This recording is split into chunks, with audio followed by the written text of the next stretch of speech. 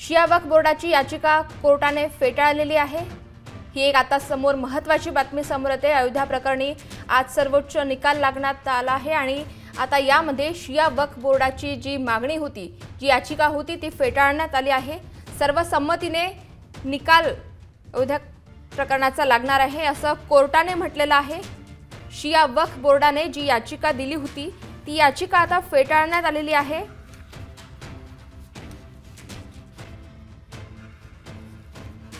आत्ताची सगळ्यात मोठी बातमी समोर येते. अयोध्या प्रकरणी आज सर्वोच्च निकाल लागणार आहे.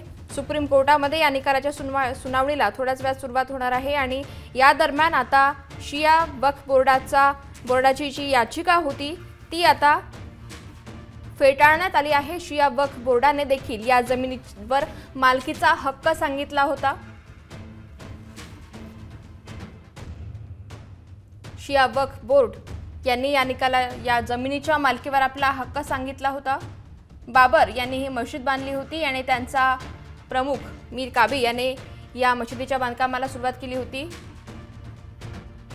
मीर काबी हा शिया होता त्यामुळे या जमिनीवर या जागेवर शिया वक्फ बोर्डाने त्यांची मालकी असल्याचं सांगितलं होतं. त्यांची मालकी असल्याची याचिका त्यांनी या दर यासाठी दाखल केली होती. परंतु बाबर हा सुनी असल्याने सुन्नीच सुन्नीचाच यांचा हक्क या जमिनीवर आहे असं सुन्नी वक्फ बोर्डाने सांगितलं होतं. या दरम्यान शिया आणि सुन्नी हा वाद देखील रंगला होता. याच्यानंतर आता शिया वक्फ बोर्डाने त्यांची जी याचिका होती ती याचिका सर्वोच्च निकाल निक सर्वोच्च न्यायालयाने फेटाळलेली आहे. सर्वसंमतीने अयोध्येचा निकाल घेणार असं देखील कोर्टाने स्पष्ट केलेलं आहे. राम जन्मभूमि बनेगी। और यही नहीं मैं सारे बात को यहाँ रखना नहीं चाहता हूँ। हमारे पास सारे सारी सारी बातें सिया सिया व बोर्ड की तरफ़ से कहीं न कहीं मंदिर के पक्ष में बातें जा रही थी लेकिन उसको सुप्रीम कोर्ट ने खारिज कर दिया है। ठीक है सुप्रीम कोर्ट मुझे विश्वास है मंदिर के पक्ष में फैसला करेगा। और अब आगे मैं कुछ नहीं कहूँ बस उसकी प्रतीक्षा कर रहा हूँ। बाकी हमारी सारी तैयारी पूरी है। धन्यवाद। हम आश्वस्त हैं। धन्यवाद जय श्री राम तर अयोध्या प्रकरणी आज सर्वोच्च निकाल समोर आहे आणि त्या दरम्यान एक महत्त्वाची बातमी समोर आली आहे ती म्हणजे शिया वक्फ बोर्डाची याचिका. ही सुप्रीम कोर्टाने फेटाळलेली आहे. एकोणीसशे छत्तीस साली या वादाला तोंड फुटलं होतं. मशिदीच्या मालकीवरून शिया आणि सुन्नी या दोन मुस्लिम गटांमध्ये हा वाद सुरू झाला होता. जिल्ह्याच्या वक्फ आयुक्तांनी यासंबंधी चौकशीचे आदेश देखील दिले होते. ही मशीद बांधणारा मीर बाकी हा शिया होता त्यामुळे ही मशीद शिया समुदायाची आहे असा दावा मशिदीचे व्यवस्थापक मोहम्मद झाकी यांनी केला होता. परंतु जिल्हा वक्फ आयुक्त मशीद मजिद यांनी आठ फेब्रुवारी एकोणीसशे एक्केचाळीस रोजी लिहिलेल्या अहवालात म्हटलंय की ही मशीद बांधून घेणारा बादशाह सुन्नी होता त्यामुळे इथला कारभार पाहणारे इमाम सुद्धा सुन्नी होते. त्यामुळे ही मशीद सुन्नियांची आहे. त्यावर शिया हा कुठलाही दावा सांगू शकत नाही असं त्यांनी स्पष्ट केलं होतं.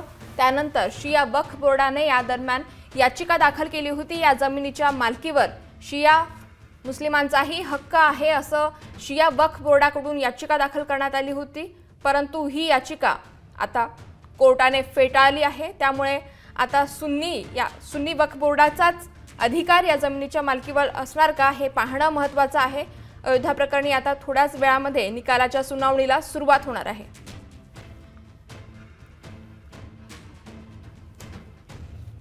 अयोध्येच्या बहुचर्चित अशा अयोध्या प्रकरणावर आता या जमिनीच्या खटल्यामध्ये मोठी सुनावणी होणार आहे. देशभरामधून सर्वांचंच लक्ष या खटल्यावर आहे. या खटल्याचा निकाल काय लागतो आणि या जमिनीच्या मालकी संदर्भात काय समोर येतं हे पाहणं सर्वांसाठीच उत्सुकतेचा आहे. त्यासोबतच देशाच्या सर्व भागांमध्ये कडक सुरक्षा व्यवस्था तैनात करण्यात आलेली आहे.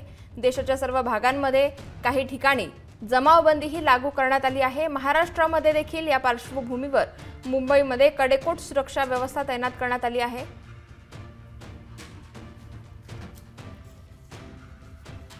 एकोणीसशे छत्तीस सालापासून सुरू असलेला शिया सुन्नी वाद यामध्ये महत्त्वपूर्ण निकाल समोर आले आहे. शिया वक्फ बोर्डाची जी याचिका होती ती आता फेटाळण्यात आली आहे. शिया सुन्नी वादामध्ये आता शिया वक्फ बोर्डाची भूमिका ही काय असणार याकडे हे पाहणं महत्त्वाचं असणार आहे कारण की त्यांची याचिका ही फेटाळण्यात आली आहे. आणि आता सुन्नी वक्फ बोर्डाचं यावर काय म्हणणं आहे? शिया वक्फ बोर्ड यापुढे काय निर्णय घेतला हे देखील महत्त्वाचं आहे. यासोबत सर्वसंमतीने अयोध्येचा निकाल घेणार सर्व संमतीने अयोध्या प्रकरणाचा निकाल लावणार असं कोर्टाने स्पष्ट केलेलं आहे. तब्बल एकशे पस्तीस वर्ष जुना असलेला हा खटला या खटल्याचा निकाल आज सर्वांसमोर येणार आहे. या खटल्याच्या निकालाच्या सुनावणीसाठी सरन्यायाधीश रंजन गोगोई हे सुप्रीम कोर्टामध्ये दाखल झालेले आहेत. थोड्याच वेळामध्ये या मोठ्या प्रकरणावर खटल्याला नि- सुनावणीला सुरुवात होणार आहे. आणि यातली सगळ्यात महत्त्वाची बातमी समोर येते आहे ते म्हणजे शिया वक्फ बोर्डाची. या बोर्डाची याचिका सुप्रीम कोर्टाने फेटाळलेली आहे. एकोणीसशे छत्तीसपासून शिया आणि सुन्नी हा वाद सुरू होता. शिया आणि सुन्नी या दोघांनीही या जमिनीवर आपली मालकी हक्क सांगितला होता. मुघल सम्राट बाबर यांनी ही मशीद बांधली होती आणि तो सुन्नी समाजाचा होता तर त्याचा मशीद बांधणारा मीर बाकी हा शिया होता. त्यामुळे शिया धर्मियांनी देखील या जमिनीवर आपला मालकी हक्क सांगितला. तर मुघल सम्राट बाबर हा सुन्नी होता. त्यामुळे या मशिदीवर आणि या जागेवर सुन्नी यांचाच मालकी हक्क आहे असं सुन्नी धर्मियांचं सांगणं होतं. शिया आणि सुन्नी हा वाद देखील चांगलाच यामध्ये रंगला होता. आणि आता याच संदर्भात मोठी बातमी समोर येते. ती म्हणजे शिया वक्फ बोर्डाची याचिका सुप्रीम कोर्टाने फेटाळून लावली आहे.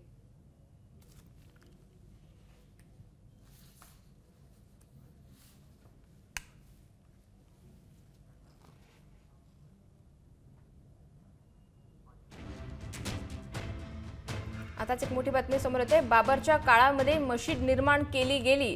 हा एक मोठा निवाळा कोर्टाने दिलेला आहे. मोठं कोर्टाचं स्टेटमेंट समोर येते निर्मोही आखाड्याचा दावा फेटाळण्यात आलेला आहे. आताची सगळ्यात मोठी बातमी समोर येते.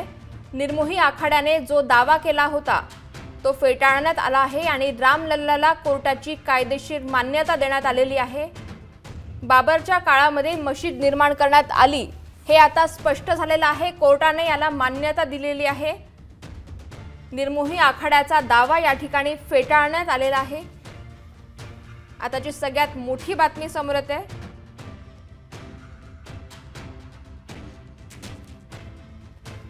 संपूर्ण अयोध्या प्रकरणाची अपडेट्स आम्ही तुमच्यापर्यंत पोहोचवत आहोत आणि आताची सगळ्यात मोठी बातमी समोर येते ते म्हणजे बाबरी मशीद रिकाम्या जागी बनलेली नाही असं सुद्धा सुप्रीम कोर्टाने स्पष्ट केलं आहे. बाबरच्या काळामध्ये मशीद निर्माण करण्यात आली. हे आता कोर्टाकडून सिद्ध झालेलं आहे. निर्मोही आखाड्याने जो दावा केला होता तो दावा आता फेटाळण्यात आलेला आहे.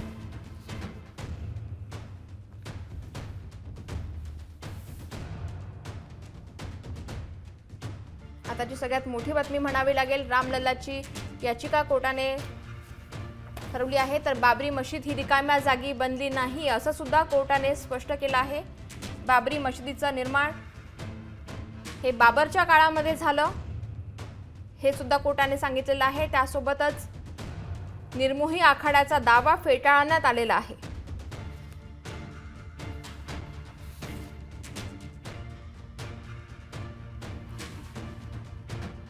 सहा डिसेंबरला बाबरी मशीद उद्ध्वस्त होऊन पंचवीस वर्ष पूर्ण झाली आहेत आणि यानंतर अनेक ठिकाणी मध्यस्थी देखील करण्याचे प्रयत्न करण्यात आले परंतु हे प्रयत्न अयशस्वी ठरले. त्यानंतर आताची सगळ्यात मोठी बातमी समोर येते. ती म्हणजे सुप्रीम कोर्टाने बाबरच्या काळामध्ये मशीद निर्माण झाली. हे स्पष्ट केलेलं आहे. त्यासोबत निर्मोही आखाड्याने केलेला दावा फेटाळण्यात आलेला आहे.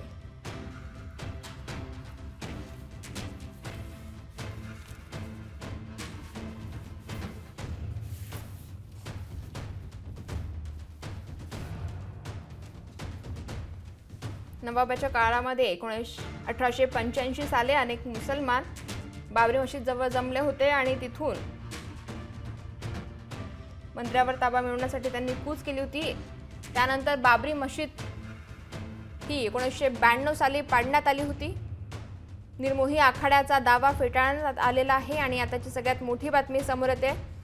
ती म्हणजे रामललाला कोर्टाची कायदेशीर मान्यता देण्यात आलेली आहे.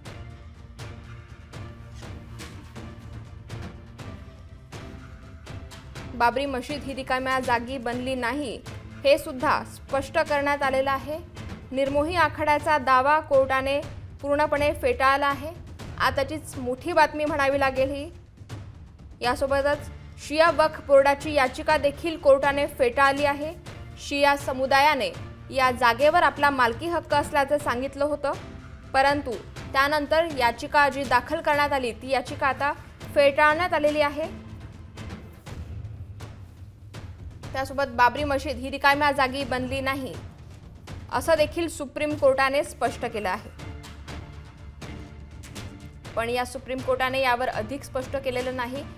जी बाबरी मशीद बनवण्यात आली तिथे मंदिर होतं की नाही हे अजूनही स्पष्ट करण्यात आलेलं नाही आहे परंतु बाबरी मशीद ही रिकाम्या जागी बांधण्यात आलेली नव्हती असं सुप्रीम कोर्टाने सांगितलेलं आहे. यासोबतच रामलल्लाला कोर्टात कोर्टाची कायदेशीर मान्यता देखील देण्यात आलेली आहे.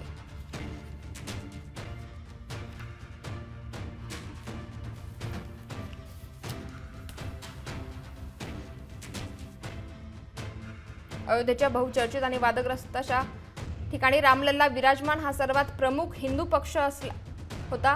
प्रभू श्रीराम उर्फ ला रामलल्ला विराजमान असं या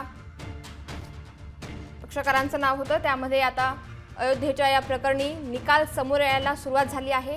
रामलल्लाला कोर्टाची कायदेशीर मान्यता देण्यात आलेली आहे.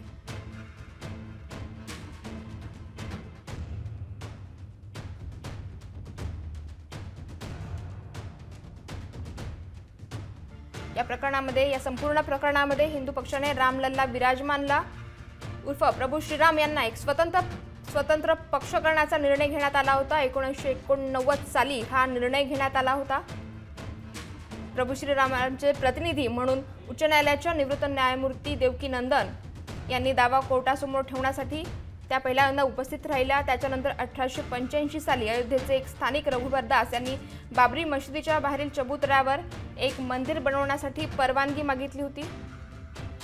मुख्य बाबरी मशीद ही रिकाम्या जागी बनलेली नाही असं सुप्रीम कोर्टाने त्यांच्या निर्णयामध्ये म्हटलेलं आहे.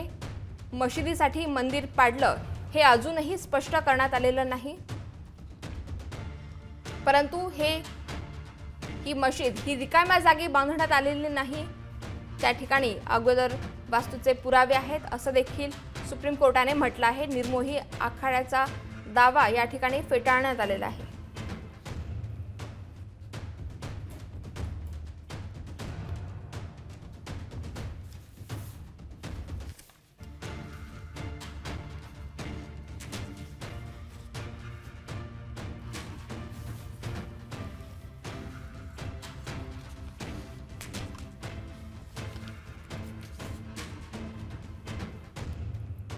आताची सगळ्यात मोठी बातमी समोर येते. मशिदीसाठी मंदिर पाडण्यात आलेलं आलं की नाही या संदर्भात अजून कुठलीही माहिती समोर आलेली नाही परंतु मशीद ही रिकाम्या जागी बांधण्यात आलेली नाही असं सुप्रीम कोर्टाने म्हटलंय.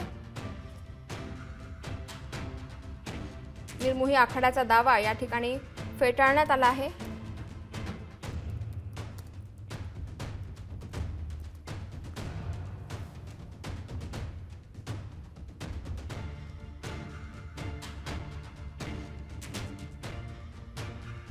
प्रकरणी सर्वात मोठी बातमी समोर येते. मशिदीसाठी मंदिर पाडलं की नाही हे अजून स्पष्ट बा स्पष्ट करण्यात आलेलं नाही आहे राम जन्मभूमी बाबरी मशीद वादामध्ये रामलला विराजमान असाही एक पक्ष असावा असा सल्ला प्रसिद्ध वकील आणि भारताचे अटर्नी जनरल लाल नारायण सिन्हा यांनी दिला होता. या खटल्यामध्ये रामलला यांच्यामध्ये प्रभू श्रीरामांना एक पक्ष म्हणून उभं करण्यात आलं. तर पक्षकारांपुढील अनेक कायदेशीर अडचणी सुटतील असं सिन्हा यांनी हिंदू पक्षांना समजावलं. मुस्लिम पक्ष लॉ ऑफ लिमिटेशन म्हणजेच मर्यादेचा वापर करून मंदिराच्या दाव्यामध्ये हिंदू पक्षकारांचा विरोध करतील असं देखील मानण्यात आलं होतं.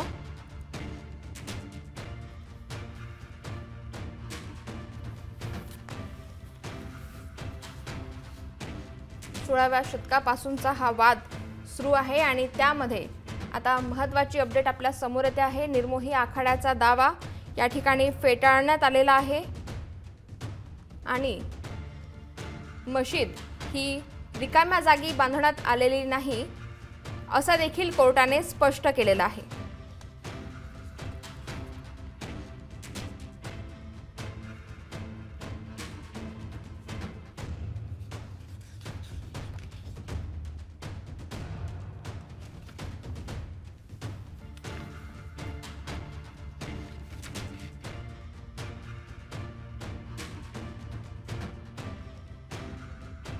देशातला सर्वात प्रदीर्घ चाललेल्या आणि वादग्रस्त खटल्यावरचा लवकरच निकाल चालू आहे. आणि त्यामध्ये रामाचा जन्म झाल्याचा हिंदूंची आस्था आहे आणि त्यामुळेच रामलल्ला यांच्यावर सुप्रीम कोर्टाने जे काही भाष्य केलेलं आहे बाबरच्या काळामध्ये मशीद निर्माण करण्यात आली असं कोर्टाने स्पष्ट केलं आहे. त्यासोबतच निर्मोही आखाड्याचा दावा सुप्रीम कोर्टाने फेटाळून लावण्यात आलेला आहे.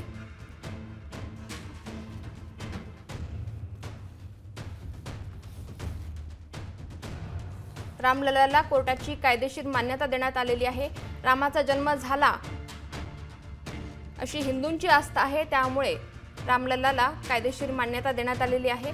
परंतु मशिदीसाठी मंदिर पाडलं हे स्पष्ट करण्यात आलेलं नाही. मशीद ही रिकाम्या जागी बांधण्यात आलेली नाही. ही मशीद बांधण्यासाठी कुठल्या तरी जागेचा कुठल्या जागेचा वापर करण्यात आला हे अजून सा सांगण्यात आलेलं नाही. या ठिकाणी अगोदर मंदिर होतं की नाही हे सुद्धा अजून स्पष्ट झालेलं नाही. रामाचा जन्म झाला असल्याचा असल्याची हिंदूंची आस्था आहे. त्यामुळे रामलल्लाला कोर्टाने कायदेशीर मान्यता दिली आहे. बाबरच्या काळामध्ये ही मशीद निर्माण करण्यात आली असं देखील कोर्टाने स्पष्ट केलं आहे.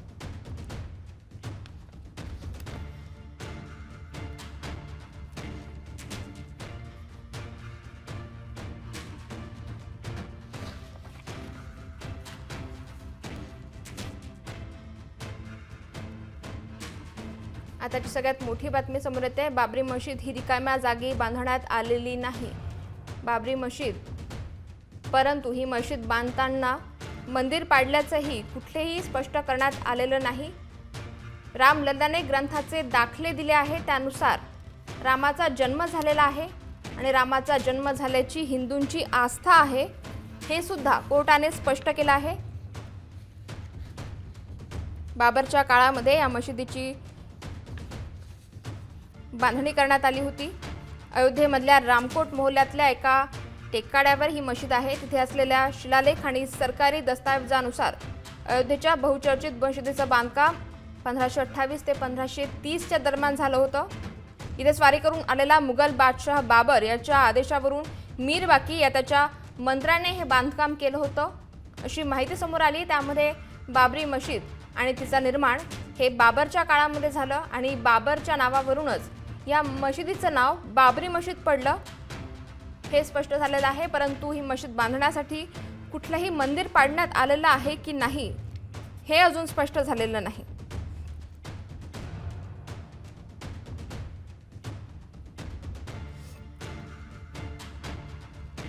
स्थानिक हिंदू आणि मुस्लिमांमध्ये मशिदीच्या मुद्द्यावरून अनेकदा संघर्ष पाहायला मिळाला आहे. या संघर्षामध्ये अनेकदा. बाबरवरून सुद्धा अनेकदा मुघल सम्राट बाबरवरून देखील अनेकदा राजकीय घडामोडी घडल्या. यामध्ये बाबरच्या काळामध्ये ही जमीन या जमिनीवर मशीद बांधण्यात आली असं स्पष्ट झालेलं आहे. परंतु या मशिदीवर ही मशीद बांधण्याच्या अगोदर या जागेवर अजून दुसरं काही वास्तू होती का? हे अजून समोर देण्यात आलेलं नाही आहे सुप्रीम कोर्टाने याबद्दल कुठलीही स्पष्टता दिली नाही. निर्मोही आखाड्याचा आखाड्याची याचिका या ठिकाणी फेटाळण्यात आलेली आहे. एकोणतीस जानेवारी अठराशे पंच्याऐंशी रोजी निर्मोही आखाड्याचे महंत रघुबर दास यांनी दिवाणी न्यायालयामध्ये पहिला खटला दाखल केला होता.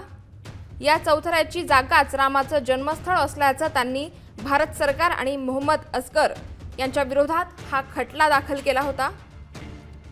त्या ठिकाणचा संपूर्ण चौथारा हे रामाचं जन्मस्थळ आहे आणि तिथे मंदिर बांधण्याची परवानगी द्यावी जेणेकरून पुजारी आणि खुद्द भगवान राम या दोघांनाही ऊन पाऊस वाऱ्यापासून संरक्षण मिळेल असं या याचिकेमध्ये म्हणण्यात आलं होतं. निर्मोही आखाड्याची ही याचिका आता रद्द करण्यात आली आहे. या याचिकाकर्त्याने असा दावा केला होता की तो या जमिनीचा मालक असून त्याचा त्यावर ताबा आहे. याचिकाकर्त्यांना चौथऱ्यावरून हटवण्यात आलेलं नाही त्यामुळे याचिकेला मुळात काही आधार नाही असा युक्तिवाद सरकारी वकिलांनी केला होता. निर्मोही आखाड्याची ही याचिका आता सुप्रीम कोर्टाने फेटाळली आहे. तर मोहम्मद अजगर यांनी सुद्धा या याचिकेवर आपला आक्षेप नोंदवत म्हटलंय की मंदिर बांधायला प्रशासनाने अनेक वेळा परवानगी नाकारली आहे.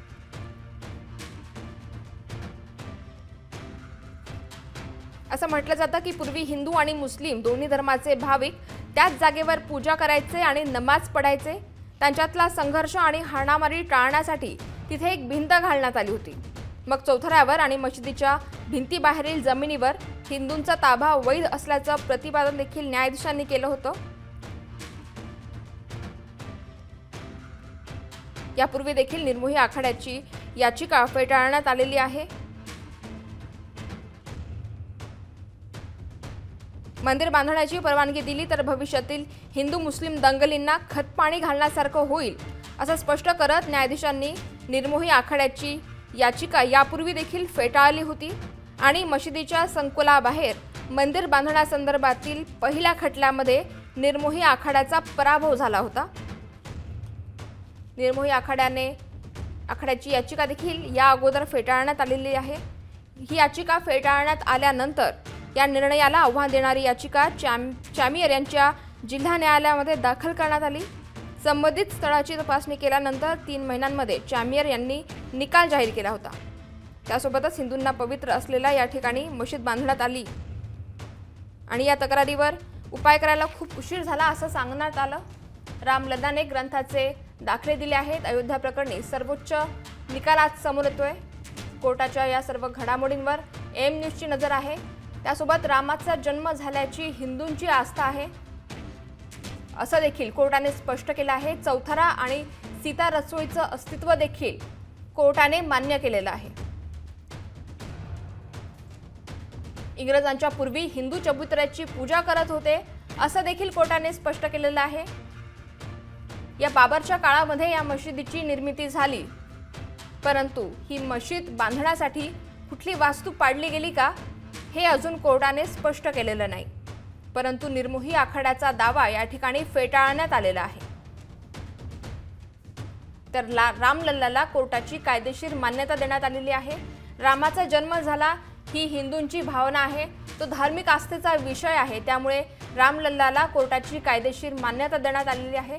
बाबरी मशीद ही रिकाम्या जागी बनली नाही असं देखील कोर्टाने स्पष्ट केलेलं आहे.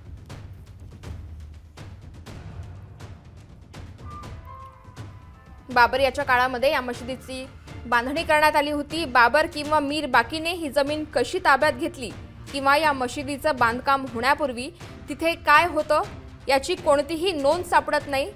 तर मुघल नवाब आणि नंतर ब्रिटिश सरकारचं राज्य असताना वख मंडळाद्वारे या मशिदीच्या देखभालीसाठी ठराविक रक्कम देखील पुरवली जायची.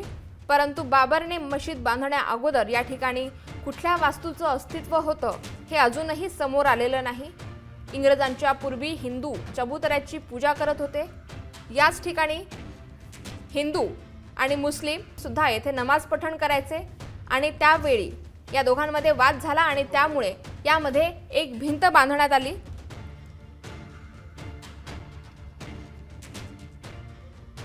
अयोध्येच्या बहुचर्चित या मशिदीचं बांधकाम पंधराशे अठ्ठावीस ते पंधराशे तीस दरम्यान झाल्याचं समजतं आहे. इथे स्वारी करून आलेला मुघल बादशाह बाबर याच्या आदेशावरून मीर बाकी या त्याच्या मंत्र्याने हे बांधकाम केलं होतं आणि हे बांधकाम बाबर याच्याच राजवटीमध्ये झालेलं आहे. हे कोर्टाने मान्य केलेलं आहे. मशिदीसाठी मंदिर पाडलं की नाही हे मात्र अजून स्पष्ट करण्यात आलेलं नाही. रामलल्लाने ग्रंथाचे दाखलेही दिले आहेत. रामाचा जन्म झाला होता. असं सुद्धा या ठिकाणी मान्य करण्यात आलेलं आहे. रामाचा जन्म झाल्याची हिंदूंची आस्था आहे. हिंदूंसाठी तो एक आस्थेचा विषय आहे. त्यासोबतच चौथरा आणि सीता रसोईचं अस्तित्व देखील मान्य करण्यात आलेलं आहे. पण निर्मोही आखाड्याचं मात्र याचिका फेटाळण्यात आलेली आहे. इंग्रजांच्या पूर्वी हिंदू चबुतऱ्याची पूजा करत होते आणि त्याच ठिकाणी मुस्लिम देखील नमाज पठण करत होते. परंतु कालांतराने या दोघांमध्ये संघर्ष निर्माण झाला आणि त्यानंतर या संपूर्ण वादाला सुरुवात होत गेली. या वादावर आज अयोध्या प्रकरणी सर्वोच्च न्यायालय निकाल देणार आहे. निकालाला सुरुवात झाली आहे आणि काही महत्त्वाच्या गोष्टी काही महत्त्वाचे निवाडे आता समोर यायला सुरुवात झालेली आहे. अयोध्या प्रकरणी आता निर्मोही आखाड्याने दाखल केलेली याचिका फेटाळण्यात आलेली आहे. तर रामाचा जन्म झाल्याची ही हिंदूंची आस्था आहे. त्यामुळे रामलल्लाला कायदेशीर मान्यता देण्यात आलेली आहे.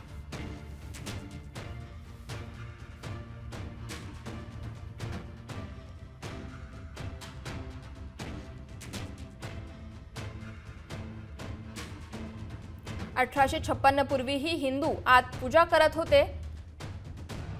अशी महत्वाची बातमी समोर येते आहे. सुप्रीम कोर्टाने हा निकाल दिलेला आहे. अयोध्या ही राम जन्मभूमी आहे यावर वाद नाही. रामाचा जन्म या ठिकाणी झालेला आहे. अशी याचिका रामलल्लाने कोर्टामध्ये दिली होती. त्यानुसार ही याचिका मान्य करण्यात आलेली आहे. रामलल्ला या ठिकाणी प्रकटले होते. रामलल्ला यांचा जन्म अयोध्येमध्ये झाला होता. हे कोर्टाने मान्य केलेलं आहे. हिंदू मुस्लिम आणि या सर्व पक्षकारांनी हे दावे सारखे केलेले आहेत. अठराशे छप्पन्न पूर्वी सुद्धा हिंदू आतमध्ये पूजा करत होते.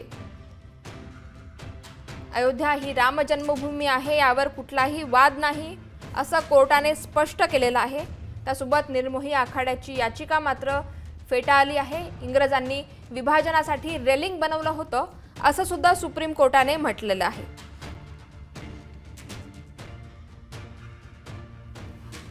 अनेक ब्रिटिश इतिहासकारांनी याबद्दल महत्त्वाची माहितीही लिहून ठेवली आहे. नवाबांच्या सत्ताकाळामध्ये अठराशे पंचावन्न साली अनेक मुसलमान बाबरी मशिदीजवळ आले आणि तिथून प्रतिष्ठेच्या हनुमानगडीवर मंदिराचा ताबा मिळवण्यासाठी त्यांनी कूच केली असं ब्रिटिश इतिहासकारांनी लिहून ठेवलं आहे. अयोध्या ही राम जन्मभूमी आहे. यावर कुठलाही वाद नाही असं सुप्रीम कोर्टाने स्पष्ट केलं आहे.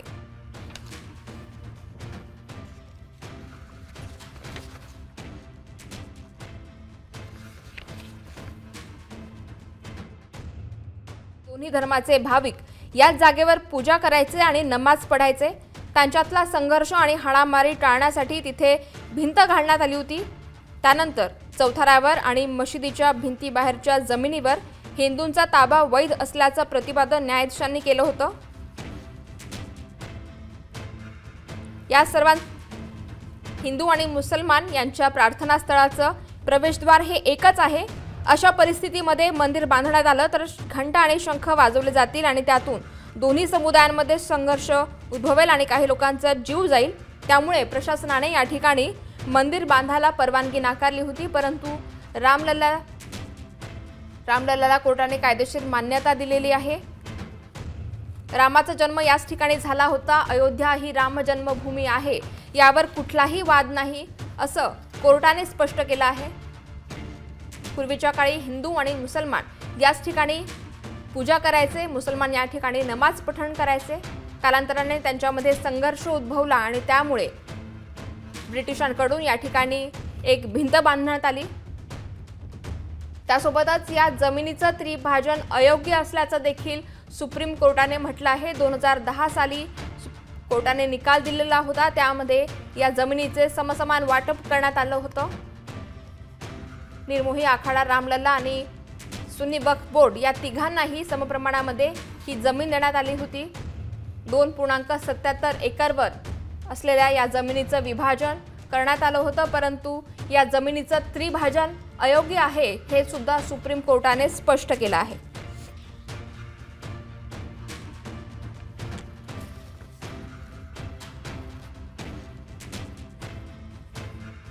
जमिनीचं त्रिभाजन अयोग्य आहे असं सुप्रीम कोर्टाने स्पष्ट केलेलं आहे. दोन हजार दहा साली जो निकाल देण्यात आला होता तोच निकाल आता पुन्हा येऊ शकतो अशी शक्यता वर्तवण्यात येत होती. परंतु आता हे चित्र स्पष्ट झालेलं आहे. या जमिनीचं त्रिभाजन योग्य नाही असं सांगण्यात आलेलं आहे सुप्रीम कोर्टाकडून. त्यामुळे दोन हजार दहाच्या निकालाची पुनरावृत्ती आता होऊ शकत नाही हे एक स्पष्ट झालेलं आहे. हा निकाल आता नेमकं कोणाच्या बाजूने लागतो याची उत्सुकता आता वाढलेली आहे. या निकालासंदर्भात हिंदू मुस्लिम पक्षकारांचे दावे सारखेच आहेत असं देखील स्पष्ट करण्यात आलेलं आहे. जमिनीचं त्रिभाजन अयोग्य आहे. सुप्रीम कोर्टाने या सर्व शक्यता आता नाकारल्या आहेत. दोन हजार दहा साली जो निकाल देण्यात आला होता तोच निकाल आता पुनर पुन्हा होणार का? याकडे सर्वांचं लक्ष होतं परंतु हा निकाल आता समोर येणार नाही. या जमिनीचं त्रिभाजन होणार नाही.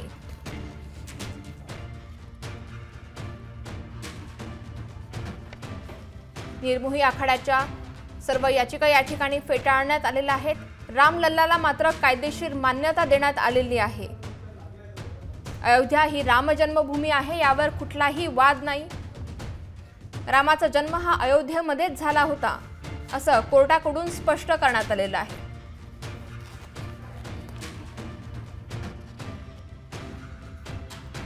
शिया वक्फ बोर्डाची याचिका या ठिकाणी नाकारण्यात आलेली आहे.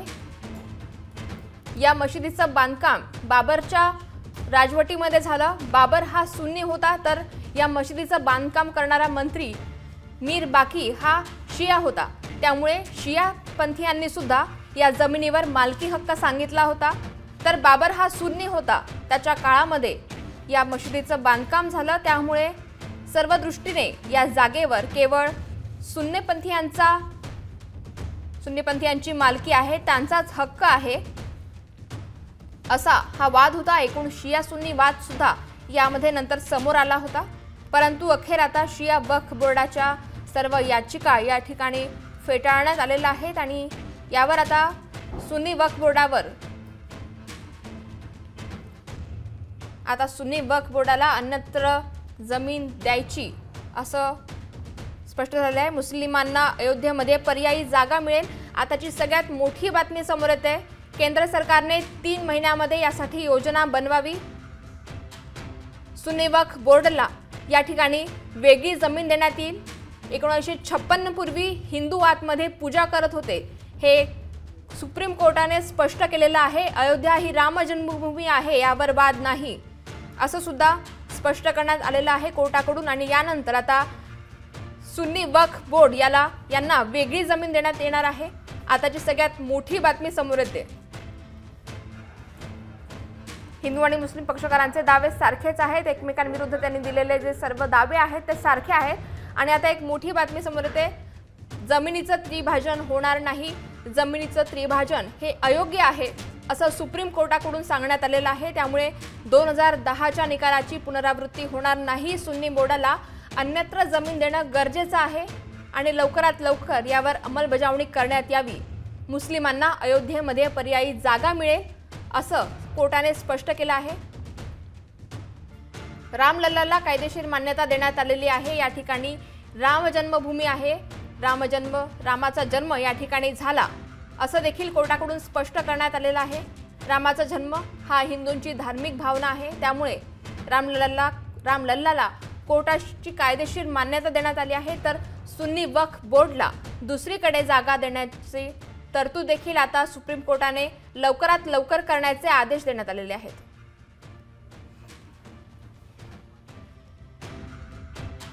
आणि आताची सगळ्यात मोठी बातमी समोर येते आहे वादग्रस्त जागा ही राम लल्लाचीच आहे असं सुप्रीम कोर्टाने स्पष्ट केलेलं आहे. आताची सगळ्यात मोठी बातमी समोर येते अयोध्या प्रकरणावर आता ही सगळ्यात मोठी अपडेट. वादग्रस्त जागा ही रामलल्लाचीच आहे असं सुप्रीम कोर्टाने स्पष्ट केलं आहे. सुन्नी वक्फ बोर्ड आणि मुस्लिम यांना अयोध्येमध्ये पर्यायी जागा मिळणार आहे आणि त्याची तरतूद करण्याचे आदेश लवकरात लवकर करण्यात यावेत असं देखील सुप्रीम कोर्टाने स्पष्ट केलेलं आहे. ही वादग्रस्त पाच एकर जागा आता हिंदूंना मिळणार आहे. अयोध्या प्रकरणामध्ये सर्वात मोठी बातमी समोर येते. वादग्रस्त जागा ही रामलल्लाचीच आहे. रामलल्लाला कोर्टाने कायदेशीर मान्यता दिली. अयोध्या ही राम जन्मभूमी आहे यामध्ये कुठलाही वाद नाही असं सुप्रीम कोर्टाने स्पष्ट केलंय. त्यानंतर आता ही वादग्रस्त पाच एकर जागा हिंदूंना मिळणार आहे. वादग्रस्त जागा ही रामलल्लाचीच आहे असं सुप्रीम कोर्टाने स्पष्ट केलं. रामाचा जन्म या ठिकाणी झाला. अयोध्या ही राम जन्मभूमी आहे. त्यासोबतच रामजन्मभूमी आणि रामाशी हिंदूंच्या भावना निगडीत आहेत.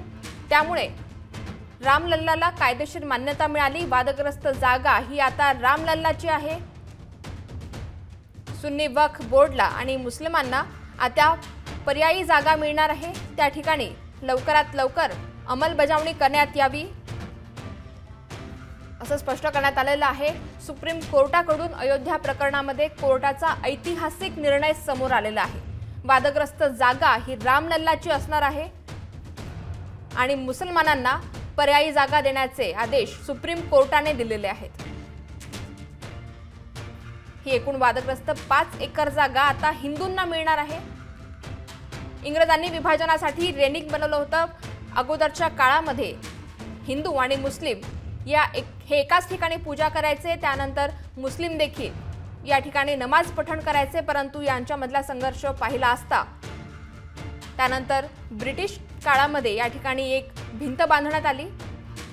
त्यानंतर हा वाद दिवसेंदिवस वाढत गेला आणि आता अयोध्या प्रकरणामध्ये सर्वात मोठी बातमी समोर येते ती म्हणजे या जागेवर आता रामलल्लाचा अधिकार आहे. रामाचा जन्म या ठिकाणी झाला होता. अयोध्या प्रकरणामध्ये आता कोर्टाचा ऐतिहासिक निर्णय समोर आलेला आहे. वादग्रस्त वास्तू पाडणं हे बेकायदेशीर आहे. त्यासोबतच जमिनीचं त्रिभाजन अयोग्य आहे असं सुद्धा सुप्रीम कोर्टाने स्पष्ट केलं आहे. मुस्लिमांना अयोध्येमध्ये पर्यायी जागा मिळणार आहे आणि केंद्र सरकारने तीन महिन्यामध्ये या संदर्भात योजना बनवावी असं देखील सुप्रीम कोर्टाने स्पष्ट केलं आहे. अयोध्या प्रकरणामध्ये ऐतिहासिक निर्णय समोर आलेला आहे. वादग्रस्त जागा ही रामलल्लाची आहे. या ठिकाणी रामाचा जन्म झाला होता. हे सुप्रीम कोर्टाने स्पष्ट केलेलं आहे. मुस्लिमांना अयोध्येमध्ये आता पर्यायी जागा मिळणार आहे.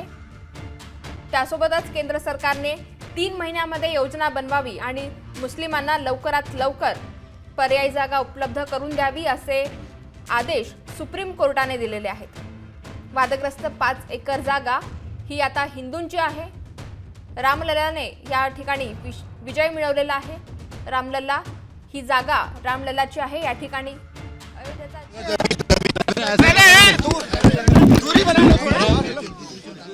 अरे यार रुको आप लोग क्या करते हो? सहयोग नहीं करो कैसे होगा?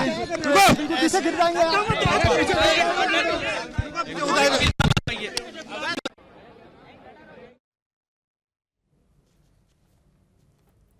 आता जी सर्वात मोठी बातमी आपण पाहतोय, अयोध्या प्रकरणी मोठा निकाल समोर आलेला आहे. अयोध्या प्रकरणामध्ये कोर्टाने त्यांचा ऐतिहासिक निकाल दिलेला आहे। सुप्रीम कोर्ट ने सूट नंबर चार और पाँच पार्टली डिग्री किया है। सुप्रीम कोर्ट ने Bhagwan Shri Ramlalla Virajman suit suit number पाँच डिग्री किया और जो डिस्प्यूटेड एरिया था, वो हिंदू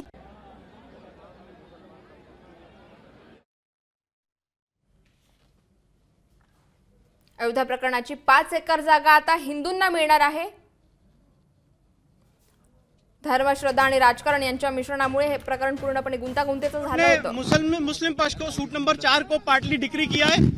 और उनको एक ऑल्टरनेटेड लैंड देने की आदेश पारित किया गया है। सुप्रीम कोर्ट ने कहा है कि मुस्लिम पक्षकारों को एक ऑल्टरनेट लैंड दी जाए जो पाँच एकड़ की होगी और वो केंद्र सरकार और स्टेट गवर्नमेंट मिलकर डिसाइड करें। अयोध्या में होगी अयोध्या से बाहर होगी ऐसा उन्होंने कहा अयोध्या में एक प्रोमिनेंट जगह पे वो ज़मीन दी जाएगी पाँच एकड़ की। अयोध्या के अंदर? अयोध्या के एक प्रोमिनेंट जगह पे? किसी भी खास जगह पे पाँच एकड़ की ज़मीन मुस्लिम पक्षकारों को सूट नंबर चार में दी जाएगी मस्जिद बनाने के लिए। चलो आप तो दूसरा दूसरा वहाँ ले लो। फोटो तो फोटो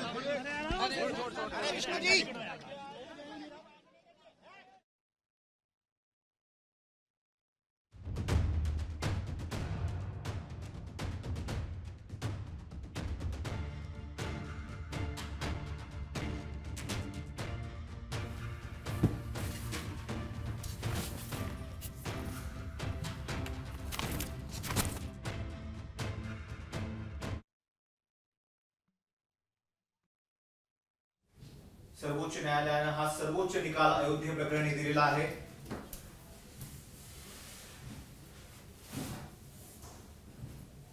आणि अयोध्ये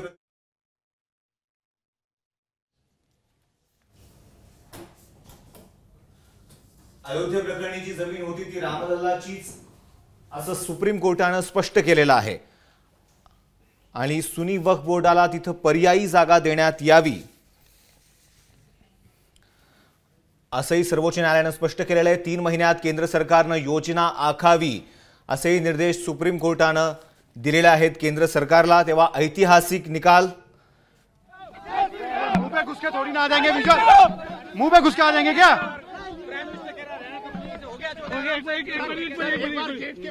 गेट के बाहर अरे यार क्या कर रहे हो?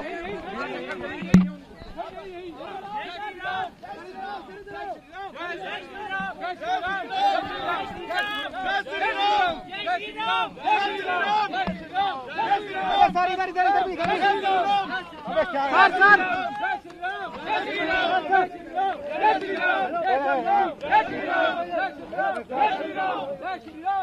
इधर भी इधर इधर इधर थोड़ा इधर जाइए तो छोड़ दे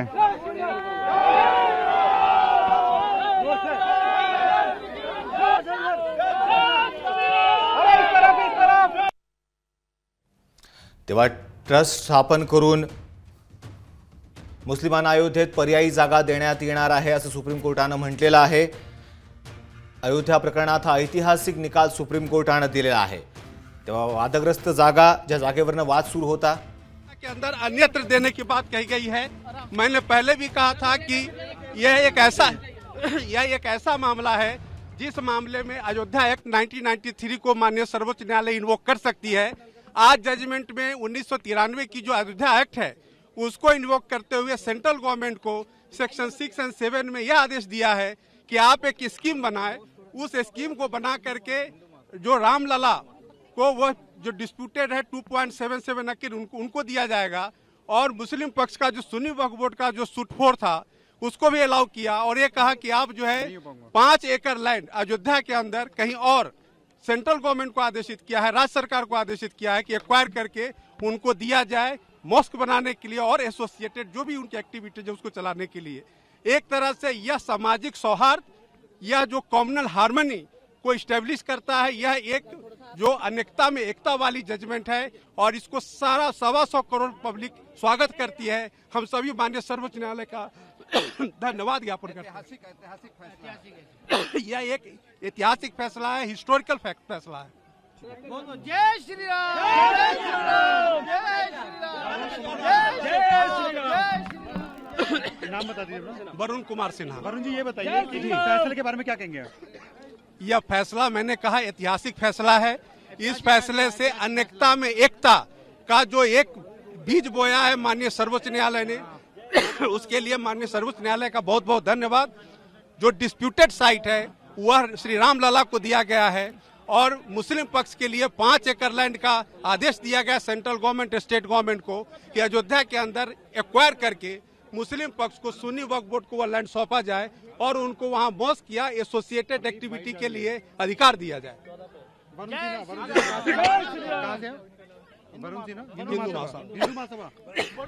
वरुण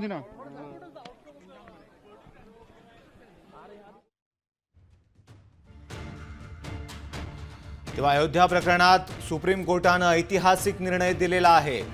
मुस्लिमांना अयोध्येत पर्यायी जागा देण्यात येणार आहे. एकशे चौतीस वर्षांपासूनचा हा मोठा खटला.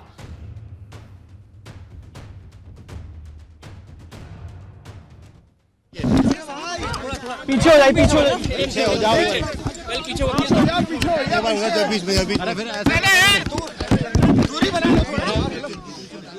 अरे यार रुको आप लोग क्या करते हो सहयोग नहीं करो कैसे होगा रुको पीछे गिर जाएँगे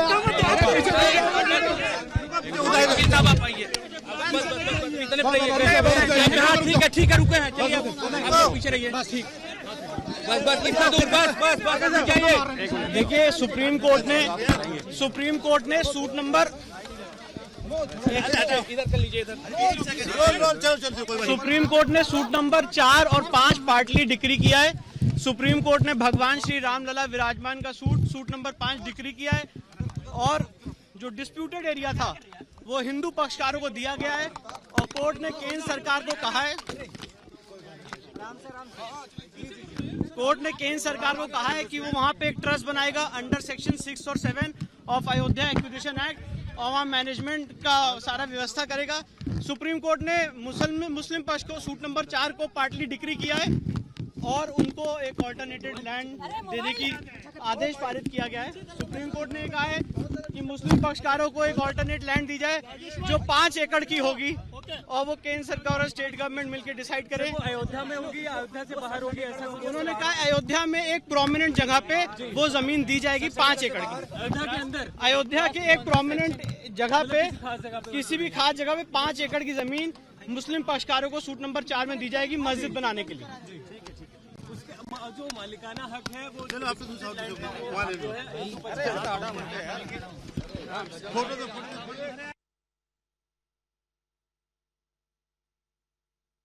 वन टू थ्री कोर्टानं सांगितलं सुप्रीम कोर्टानं सांगितलेलं आहे.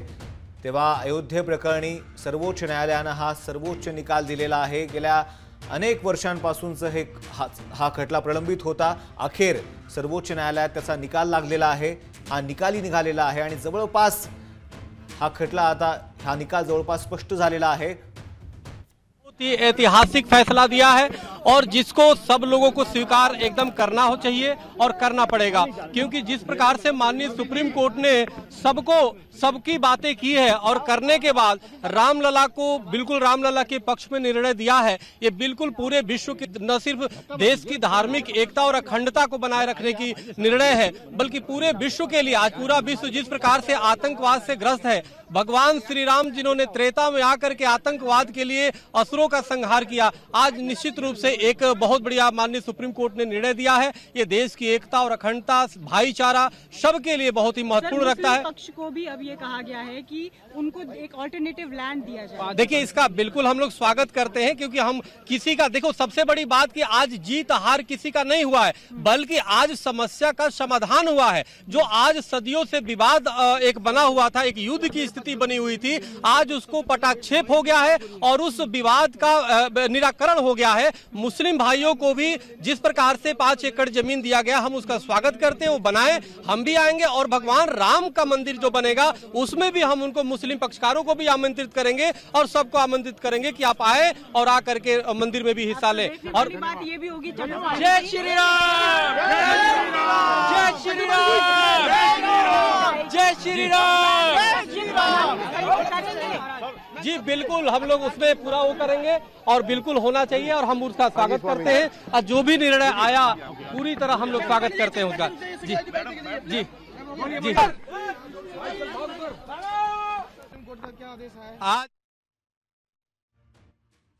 सर्वोच्च न्यायालय ने जो डिस्प्यूटेड साइट है उसको हिंदुओं को सौंप दिया है और अल्टरनेट साइट पाँच एकड़ का तेव्हा ही जागा रामललाचीच आहे. रामललाचं अस्तित्व सुप्रीम कोर्टानं मान्य आहे. आणि हा सर्वोच्च असा निकाल, सर्वोच्च न्यायालयानं दिलेला आहे. त्याबदल्यात सुनी वोक वक्फ बोर्डाला पाच एकर पर्यायी जागा देण्याचाही निर्णय सुप्रीम कोर्टानं दिलाय. का मान्यता दे दी है और मान लिया है तो मैं आपसे यही आग्रह है कि सब लोग शांति बना करके रखें, सद्भाव बना करके रखें और जो मुसलमानों को ज़मीन देने की बात कही गई है वो खोज करके ज़मीन सरकार उनको दे, ताकि वो भी अपने मस्जिद का निर्माण करा सकें, धार्मिक स्थान का निर्माण करा सकें। इस वक्त हमारे साथ मौजूद है विनय कटियार जी। लंबे समय से राम जन्मभूमि को लेकर कानूनी लड़ाई भी चल रही थी।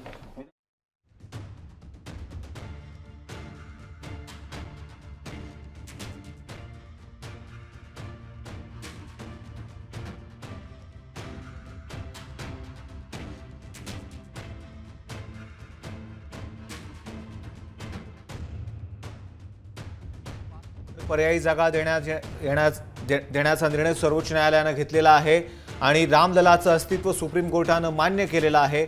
ही जागा जी होती ती रामललाचीच आहे असं सुप्रीम कोर्टानं स्पष्ट केलेलं आहे. आणि तीन महिन्यांमध्ये इथं ट्रस्ट उभारून मंदिर उभारण्याचे निर्देश केंद्र सरकारला देण्यात आलेले आहे. शिवाय पाच एकर जागा सुनी वक्फ बोर्डाला देण्याचा ऐतिहासिक निर्णय अयोध्या प्रकरणी कोर्टानं दिलेला आहे. तेव्हा एकशे चौतीस वर्षांपासूनचा हा खटला अनेक वर्षांपासून हे प्रकरण पल प्रलंबित होतं. अखेर सुप्रीम कोर्टात यात सुप्रीम कोर्टानं हे प्रकरण निकाली काढलेलं आहे. दोन हजार दहा साली अलाहाबाद उच्च न्यायालयानं जो निकाल दिला होता तीन हिश्श्यांमध्ये ही जागा वाटली वाटण्यात आलेली होती. निर्मोही आखाडा शिवाय रामलला आणि सुनी वक्फ बोर्ड. तेव्हा हा निर्णय रद्दबातल ठरवत सुप्रीम कोर्टानं रामललाचं अस्तित्व मान्य करत तिथं मंदिर उभारण्याचे आदेश दिलेले आहेत.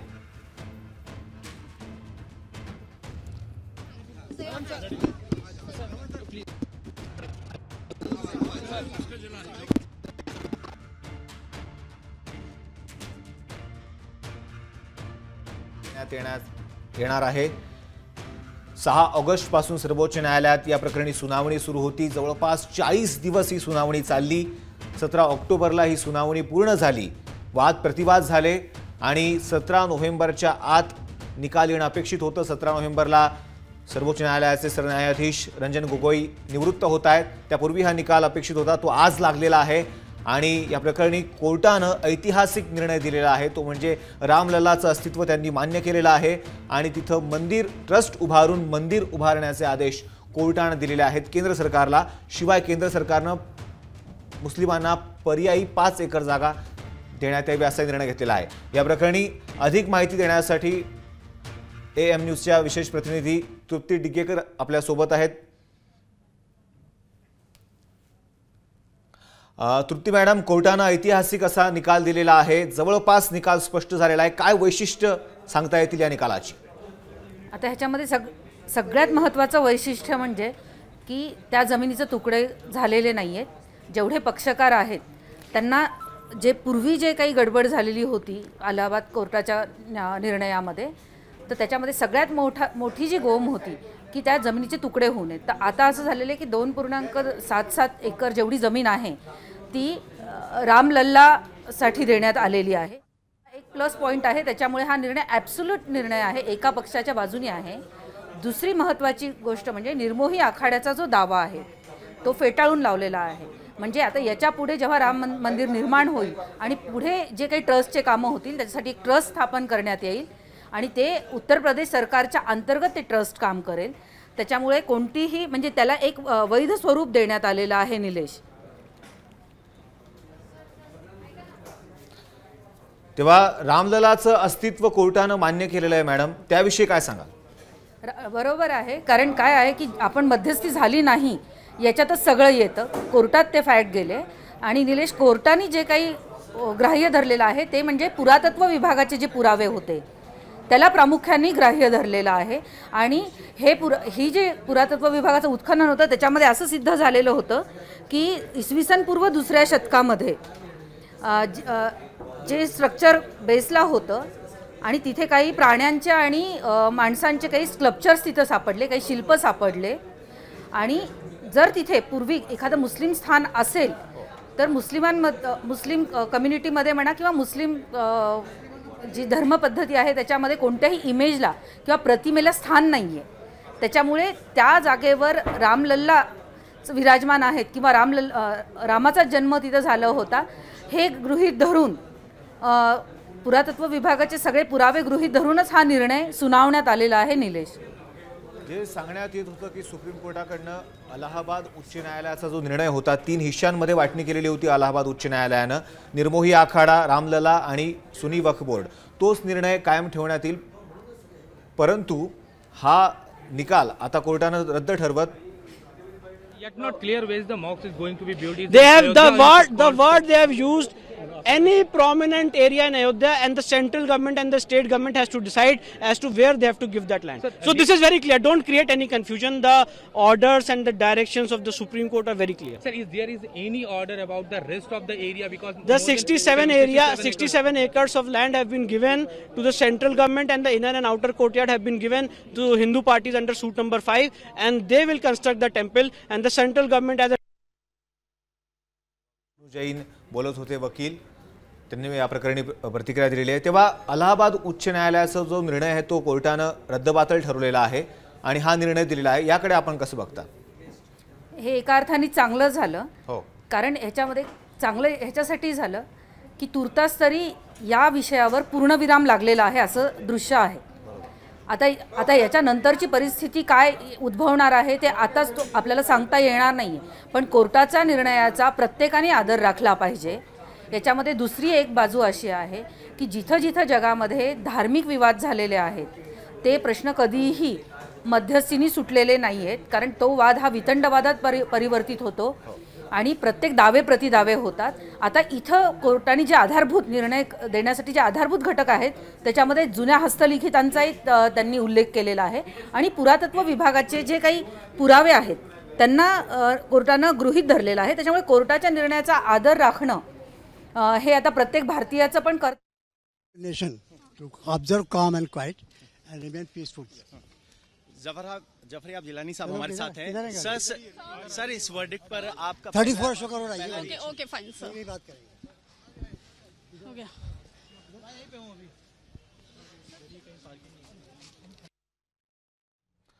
तेव्हा अयोध्ये प्रकरणी सुप्रीम कोर्टानं ऐतिहासिक निर्णय दिलेला आहे.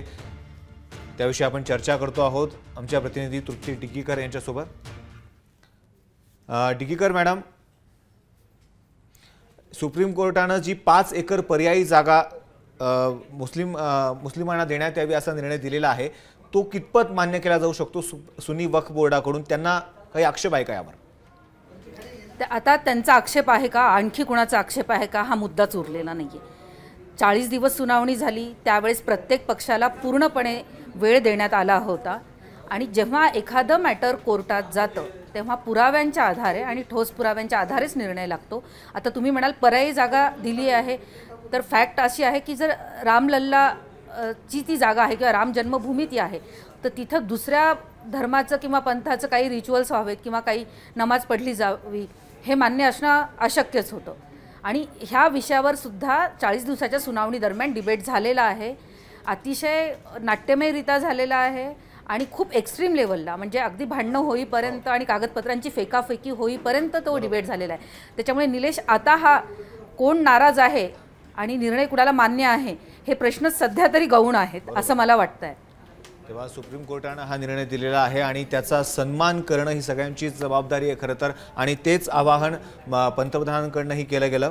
याविषयी अधिक चर्चा करण्यासाठी आपल्यासोबत ए एम न्यूजचे मुंबईचे संपादक पंकज दळवी सर आहेत. तत्पूर्वी एक बाईट आपण ऐकूयात The judgment is, uh, there are several contradictions in the judgment and there are some incorrect findings also. So we will examine them. But naturally it is judgment of Supreme Court, we respect it. There is no question of, and we, we appeal to the nation to observe restraint and peace. Right. That the entire country should remain peaceful and there should be no uh, Sir, the Supreme Court has any reposed the faith. We will see, we will the. Supreme Court has reposed the faith in the center to form a trust. What do you want to do that No, no, see, we are not taking questions. We have just given, uh, I will again address the media at 34 Ashoka Road. Sir, Dhawan sir, Dhawan sir, your thoughts. Dhawan sir, sir, just a small reaction. You fought valiantly for the Muslim doesn't want, doesn't want. सब ये ये सब सब बातें वहीं कहेंगे हम यहाँ कुछ और नहीं। चौंतीस अशोका रोड पे आइए वहीं बैठते हैं।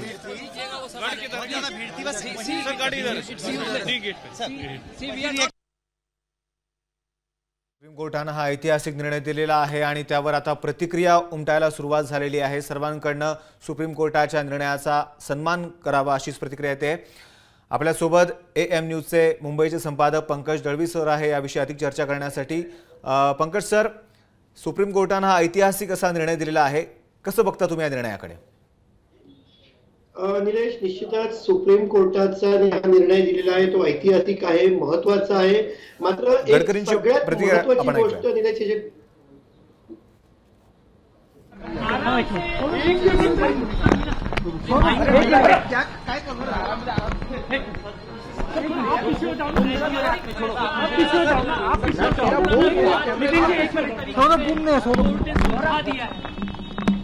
देखिए न्यायालय ने जो निर्णय दिया है वो लोकतांत्रिक देश होने के नाते सबने उसको स्वीकार करना चाहिए और शांति और सद्भाव वही कायम रखना चाहिए। सभी लोग शांति और सद्भाव कायम रखें यही मेरी प्रार्थना है। या निर्णयाचा सन्मान सर्वांनी ठेवला पाहिजे असं म्हणतायत नितीन गडकरी. तेव्हा सर्वोच्च न्यायालयानं अयोध्ये प्रकरणी हा महत्त्वाचा महत्त्वपूर्ण असा ऐतिहासिक निर्णय दिलेला आहे. रामदलाचं अस्तित्व सर्वोच्च न्यायालयानं मान्य केलेलं आहे. आपल्यासोबत आहेत ए एम न्यूजचे मुंबईचे संपादक पंकज दळवी सर. पंकज सर आपण बोलत होतात या ऐतिहासिक निकालाविषयी तुम्ही कसं बोलता कसं बघता या निकालाकडे? एक सगळ्यात महत्वाचं म्हणजे हा निर्णय घेताना त्याचे समाजामध्ये किंवा देशामध्ये काय प्रतिसाद उमटतील याच्याविषयी प्रचंड काळजी किंवा एक टेन्शन होतं. मात्र एक समाधानाची बाब अशी आहे की दोन्ही पक्षाकडून किंवा दोन्ही बाजूच्या विचारधारेच्या लोकांकडनं कोर्टाच्या निर्णयाचं जे आहे ते आदर राखला जाईल किंवा त्याचे पडसाद सध्या तरी कुठे उमटणार नाहीये. एक सामाजिक स्वास्थ्य जे आहे ते बन- व्यवस्थित राहील अशी शक्यता आता निर्माण झाली आणि निश्चितच भारतातल्या लोकांच्या या बदलत्या मानसिकतेचं आपण सगळ्यात आधी स्वागत केलं पाहिजे. कारण याच विषयावरनं ब्याण्णव त्र्याण्णव साली देश पेटला होता. आपली मुंबई जी आहे खूप मोठी याच्यातून गेली होती. त्यामुळे ही जी मानसिकता बदललेली आहे किंवा कोर्टाच्या निर्णयाचं स्वागत करण्याची भूमिका सर्व पक्षांनी घेतलेली आहे. एक जबाबदार प्रसार प्रसार माध्यम म्हणून आपण या भूमिकेचं सगळ्यात आधी स्वागत केलं पाहिजे. कोर्टाने जो निर्णय जो आहे तो अतिशय न्याय पद्धतीने किंवा ज्याला आपण म्हणू शकतो प्रत्येक निर्णयाला कायद्याचा त्याच्यामागे निर्णयामागे घेतलेल्या केले घेतलेल्या माहितीचा त्याला घेतलेल्या पुराव्यांचा त्या बाबतीत केलेल्या सर्वेचा या सगळ्याचा दाखला त्या सगळ्याचा बेस देऊन हा निर्णय घेतलेला आहे. त्यामुळे स्वाभाविक आहे. याच्यावरती आक्षेप किंवा काही असण्याचा प्रश्न आता निर्माण होत नाही. कारण अनेक वर्ष जो है तो प्रलंबित विषयाचा निकाल जो है तो निक- लागले कोर्ट ने जो भी कहा है वो ठीक कहा है हम उसका सम्मान करते हैं। ये ज़िम्मेदारी सरकार की हम लोग कहाँ देती है कहाँ नहीं देती है। क्योंकि हम कोर्ट का सम्मान करते हैं पहले भी करते थे आज भी करते हैं। हमें चाहते हैं ये मसला हिंदुस्तान का बहुत अहम था वो आज खत्म हो गया। चलिए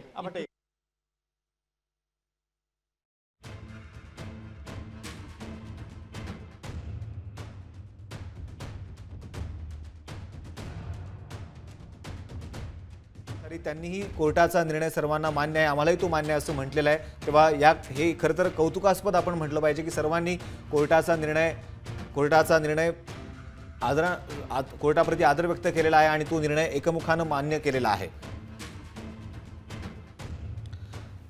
तृप्ती मॅडम हा जो निकाल आता दिलेला आहे अन्सारींनी ही प्रतिक्रिया दिली की आम्ही कोर्टाचा सन्मान करतो जे याचिकाकर्ते होते या प्रकरणी.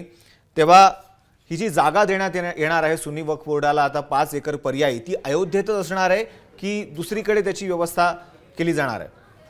अयोध्येत सुनावणीच्या दरम्यान तर असं सांगण्यात आलेलं होतं की ती जागा अयोध्येतच देण्यात येणार आहे. याशिवाय सुनावणीच्या वेळेस न्यायपीठाने असं सांगितलेलं होतं की अयोध्येत एकूण किती मशिदी आहेत ह्याची आकडेवारी तिथं त्या सुनावणी दरम्यान डिस्कस झालेली होती. तर ही जी पर्यायी जागा जी आहे सुन्नी वक्फ बोर्डाला ती अयोध्येतच देणं अपेक्षित आहे.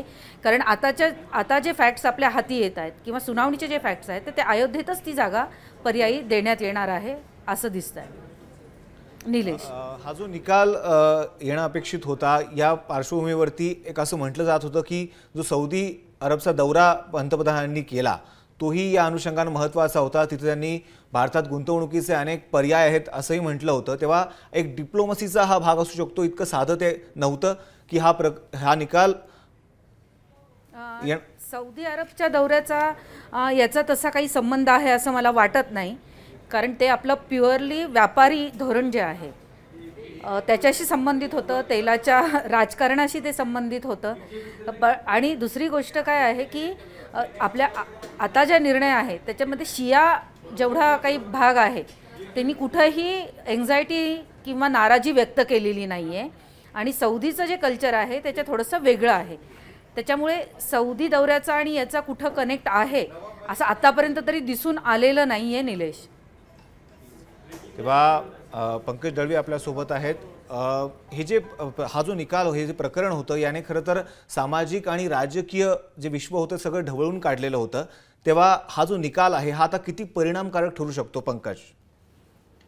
मगाशी मी सुरुवातीलाच म्हटलं कारण एकोणीसशे ब्याण्णव त्र्याण्णव साली मुंबईत जे झालं होतं ते मी मुंबईतनं अगदी जवळनं बघितलेलं. त्यावेळेच्या लोकांची मानसिकता त्यावेळी लोकांची आक्रमकता त्यावेळी लोकांनी घेतलेली भूमिका आणि त्याच्यानंतर जे काही गोष्टी घडल्या त्या गोष्टी अतिशय भयंकर भयानक सामाजिक हिताच्या विरोधातल्या आणि खूप त्रासदायक होत्या. त्याच्यानंतर इतक्या वर्षांनी आज या बाबतीमध्ये निर्णय येतोय. तो निर्णय येताना स्वाभाविक आहे सुरक्षेची काळजी सामाजिक स्वास्थ्य जपण्याची काळजी अनुचित प्रकार रोखण्याची काळजी सामाजिक सलोखा राहील. याची काळजी घेणं महाराष्ट्रामध्ये अतिशय महत्वाचं होतं. निलेश याच्यामध्ये एक मुद्दा अतिशय महत्त्वाचा आहे. महाराष्ट्रामध्ये सरकार सध्या नाहीये. काळजीवाहू सरकार आहे. असं असताना इतका महत्त्वाचा निर्णय आला आणि तो टॅकल करण्यासाठी प्रशासनानं निश्चितच चांगली तयारी केली असं म्हणावं लागेल. आता आपण बदलत्या मानसिकतेविषयी बोलूया. त्यावेळी जी आक्रमकता जी होती ती दोन्ही पक्षाकडनं होती. तीच आक्रमकता आपण बघितलं. आता कुठेतरी कमी झालेली आहे. कुठेतरी इतका वर्ष रेंगाळत असलेला विषय इतका वर्ष आपापसामध्ये तेढ निर्माण करणारा विषय अनेक लोकांचे जे जे अनेक लोकांना त्रास देणारा विषय हा विषय कुठेतरी एका नोटवरती संपावा असं दोन्ही पक्षांना वाटत होतं. आणि ते पक्षकारातून निवेद दिसतं याच्यापूर्वी आपण जर का अनेक रिपोर्ट्स वेगवेगळ्या न्यूज चॅनलवरचे बघितले तर जे याचिकाकर्ते होते मग दोन्ही बाजूचे हिंदू याचिकाकर्ता आणि मुसलमान याचिकाकर्ता हे जाताना अनेक वेळा एकाच रिक्षेतून सुद्धा गेलेले आहेत. म्हणजे तो मुद्दा कोर्टात होता त्याच्यावर तोडगा निघत नव्हता. एकत्र लढायला सुद्धा एकत्र दोन वेगवेगळ्या पक्षाची लोक जात होती पण तरी सुद्धा एक तोडगा निघाला. आणि सगळ्यात महत्वाचं म्हणजे सर्व पक्षाच्या सर्व जाती धर्माच्या लोकांनी या निर्णयाचं जे आहे तो मानण्याची तयारी दाखवलेली आहे. आणि त्यामुळे मुंबई असो महाराष्ट्रातले अनेक भाग असतो याच्यामध्ये सामाजिक शांतता जी आहे निलेश ही जी आहे ती कायम आहे. आणि सगळ्यात महत्वाचं म्हणजे लोकांची या बाबतीतली मानसिकता पूर्णपणे बदललेली आहे. हा निर्णय समाजाच्या दृष्टीने स्वागतार्ह आहे आपल्याला असं म्हणावं लागेल.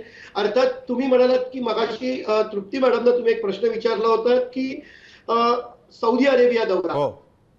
हा. डिप्लोमॅसीचा भाग असू शकतो का? हो. तर मला थोडस याच्या बाबतीमध्ये अ, मी पूर्णपणे जे आहे ते या गोष्टीमध्ये छोटस असं एक माझी एक थिअरी अशी असू शकते की ज्या पद्धतीने नरेंद्र मोदी तिकडे गेले हो. सौदी अरेबियामधून जे आहे हज आहे तिकडनं मोठ्या प्रमाणामध्ये जे आहे ते पूर्णपणे एक नियंत्रण जे आहे ते समाजावरती असतं आणि जर का निर्णय कुठलाही आला सामाजिक स्वास्थ्य निर्माण व्हावं याची चर्चा जी आहे ती तिकडच्या प्रमुखांशी शंभर टक्के जी आहे ती झाल्यास असण्याची शक्यता आहे. त्यामुळे एक पूर्णपणे सामाजिक स्वास्थ्य एकत्र राहावं चांगलं राहावं निर्णयाचं स्वागत व्हावं आणि हा विषय एकदाचा संपावा अशी कुठेतरी प्रयत्न जर केलं तर त्या डिप्लोमॅसीचा हा काही अंशी भाग असू शकतो असं मला वाटतंय. आणि राजकीय पटलावरनं महाराष्ट्राच्या देशाच्या राजकीय पटलावरनं एक आश्वासन आजच्या निर्णयानंतर कायमचं वजा झालं असं म्हणावं लागेल हो. कारण निवडणुकीच्या हा प्रत्येक. अजेंडामध्ये मग युपीची निवडणूक असो निलेश बिहारची निवडणूक असो महाराष्ट्रातली निवडणूक असो किंवा देशातली कुठलीही निवडणूक असो राम मंदिरासंबंधातला मुद्दा जो आहे तो सातत्यानं जे आहे तो हायलाईट केला गेला मग सत्ताधाऱ्यांकडनं हा मुद्दा उपस्थित केला गेला तर विरोधकांनी अनेक वेळा सतत हाच मुद्दा उपस्थित करतात मात्र काही करत नाही हा केला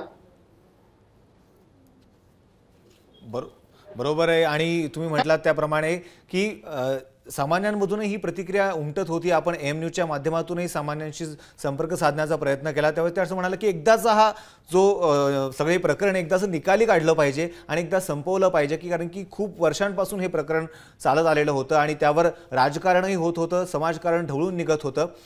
तृप्ती डिगीकर आपल्यासोबत आहे. मला वाटतं की हा फार क्वचित खटल्यां खटल्यांपैकी एक खटला असावा की सलग चाळीस दिवस याची सुनावणी केली गेली. म्हणजे केशवानंद भारती खटल्यानंतर हा खटला गणला गेला पाहिजे. आणि कोर्टानं असं सांगितलं की स म्हणजे सतरा नोव्हेंबरला आपले सर्व सरन्यायाधीश रंजन गोगोई हे निवृत्त होत आहेत. त्यापूर्वी निकाल अपेक्षित होता. तेव्हा या खटल्याकडे तुम्ही नेमकं कसं बघता? ही सुनावणी चाळीस दिवस झाली. कारण त्याच्यामध्ये एक लिंक असावी हे एक होतं. आणि सतत झाली या याचं मुख्य कारण काय होतं की ही हे जो काही आहे म्हणजे जवळपास एकोणीसशे एकोणपन्नासपासून हा खटला चालू आहे. तर हे कुठंतरी ह्याला पूर्णविराम लागावा. आणि जेवढे काही पक्षकार आहेत त्यांना फुलफ्लेज त्यांचं जे काही म्हणणं आहे ते मांडण्या मांडता यावं. आणि सगळ्यात महत्त्वाचं काय होतं की मध्यस्थीचा प्रयत्न मागच्या वर्षी झालेला होता. तो कुठंच यशस्वी होत नव्हता. त्याच्यामुळे ही सुनावणी सलग करणंच भाग होतं. आणि ते चांगलं झालेलं आहे. आणि अजून एक निलेश तुला एक अपडेट मला द्यायचं आहे की आत्ता सुन्नी व बोर्डाच्या वकिलांनी म्हटलेलं आहे की आम्ही निकालपत्राचा पूर्ण अभ्यास करू आणि त्याच्यानंतरच आमची प्रतिक्रिया देऊ. म्हणजे आता तू मघाशी जो मला प्रश्न विचारला होतास की मुस्लिम पक्षकार याबद्दल काय सांगणार? बरोबर. तर आता सुन्नी वक्फ बोर्डाची प्रेस कॉन्फरन्स सुरू झालेली आहे आणि त्यापूर्वी ॲडव्होकेट जिलानींनी सांगितलेलं आहे की आम्ही निकालपत्राची पूर्णपणे अभ्यास करून ह्याच्यावर आमची भूमिका मांडू. म्हणजे आता हा कायदेशीरदृष्ट्या जरी ह्या निकालाचा हा पूर्ण विराम असेल या प्रकरणाचा मिनिट. राजनाथ सिंह बोलतात तरी और साथ ही साथ सामाजिक ताना बाना भी इसके परिणाम स्वरूप मज़बूत होगा, ऐसा मेरा विश्वास है। और मैं जनता से भी ये अपील करूँगा कि सभी शांति और सौहार्द बनाए रखने का प्रयत्न अपनी तरफ़ से करेंगे और इस जजमेंट को पूरे धैर्य और उदारता के साथ सभी को स्वीकार करना चाहिए।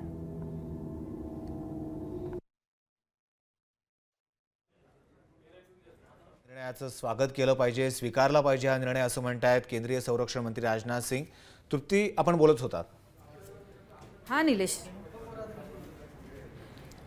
तर आता पूर्णविराम कायदेशीरदृष्ट्या पूर्णविराम जरी लागलेला असेल तरी मुस्लिम पक्षकारांमध्ये अजूनही पूर्ण समाधान व्यक्त केलं गेलेलं नाही आहे. हे आत्ताच आलेल्या बातमीनुसार दिसून येत आहे याचा दुसरा एक पैलू असा आहे की एक उदाहरणच घ्यायचं झालं. तू मगाशी सौदी अरबचा उल्लेख केलास. उदाहरणच घ्यायचं तर आजही जेरुसलेम कुणाचा हा वाद आहेच आहे.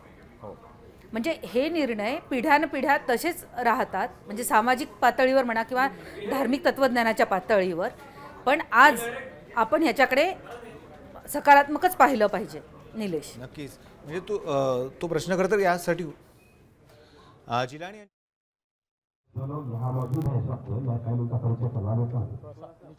मेरे बगल में सीनियर एडवोकेट जफरिया जिलानी साहब हैं जो इस केस से बहुत लंबे अरसे से जुड़े हुए हैं इलाहाबाद हाई कोर्ट से लेकर यहाँ तक। और आज भी सुप्रीम कोर्ट में आप मौजूद थे वही इस वक्त में आपको संबोधित करेंगे। इसके अलावा हमारे ठीक है इसके अलावा हमारे साथ में मौलाना फजल रहीम मुजुद्दीन साहब हैं जो मुस्लिम मसला बोर्ड के सेक्रेटरी हैं। डॉक्टर अब्दुल्लाही साहब भी मुस्लिम मसला बोर्ड के सेक्रेटरी हैं। इसके अलावा आज की इस प्रेस कॉन्फ्रेंस में जो लोग अभी हम लोग एक्सपेक्ट कर रहे हैं, आने वाले हैं, उसमें जमतुल्ला से मौलाना फजल रहीम मौलाना फजल रहीम साहब हैं फजल रहमान साहब हैं। और उसके अलावा जमात इस्लामी के अमीर जनाब साहबुल्ला हुसैनी साहब हैं और जमीयत अहर अज़ीज़ के शीश तमीमी साहब हैं, जो आ रहे हैं। इसके अलावा हमारे साथ में जो हमारे वकील कोर्ट में मौजूद थे वो भी मेरे साथ यहाँ मौजूद हैं। जनाब शकील अहमद सैयद साहब जो मेरे राइट साइड पे हैं और अभी शमशाद साहब जो शमशाद अहमद साहब हैं वो भी हमारे एम आर शमशाद साहब वो भी हमारे वकील थे कोर्ट में वो भी जस्ट पहुँचने वाले हैं। और मौलाना न्याज फारूकी साहब भी हमारे बैठे हुए हैं पीछे हुए। और इसके अलावा हमारे जूनियर मुखलाब साहब यहाँ मौजूद हैं उनका परिचय करवाएँगे तो मैं चाहता हूँ अभी रफीला गिलानी साहब आपको संबोधित संबोधित करें। फ्रेंड्स जैसा अभी डॉक्टर क्यू आर इलियास साहब ने कहा, जजमेंट अभी प्रोनाउंस हुआ चीफ जस्टिस साहब ने काफ़ी तफसील से आज तकरीबन आधा घंटा उसको पढ़ा रिलेवेंट पोर्शन जजमेंट में बहुत सी बातें हैं जो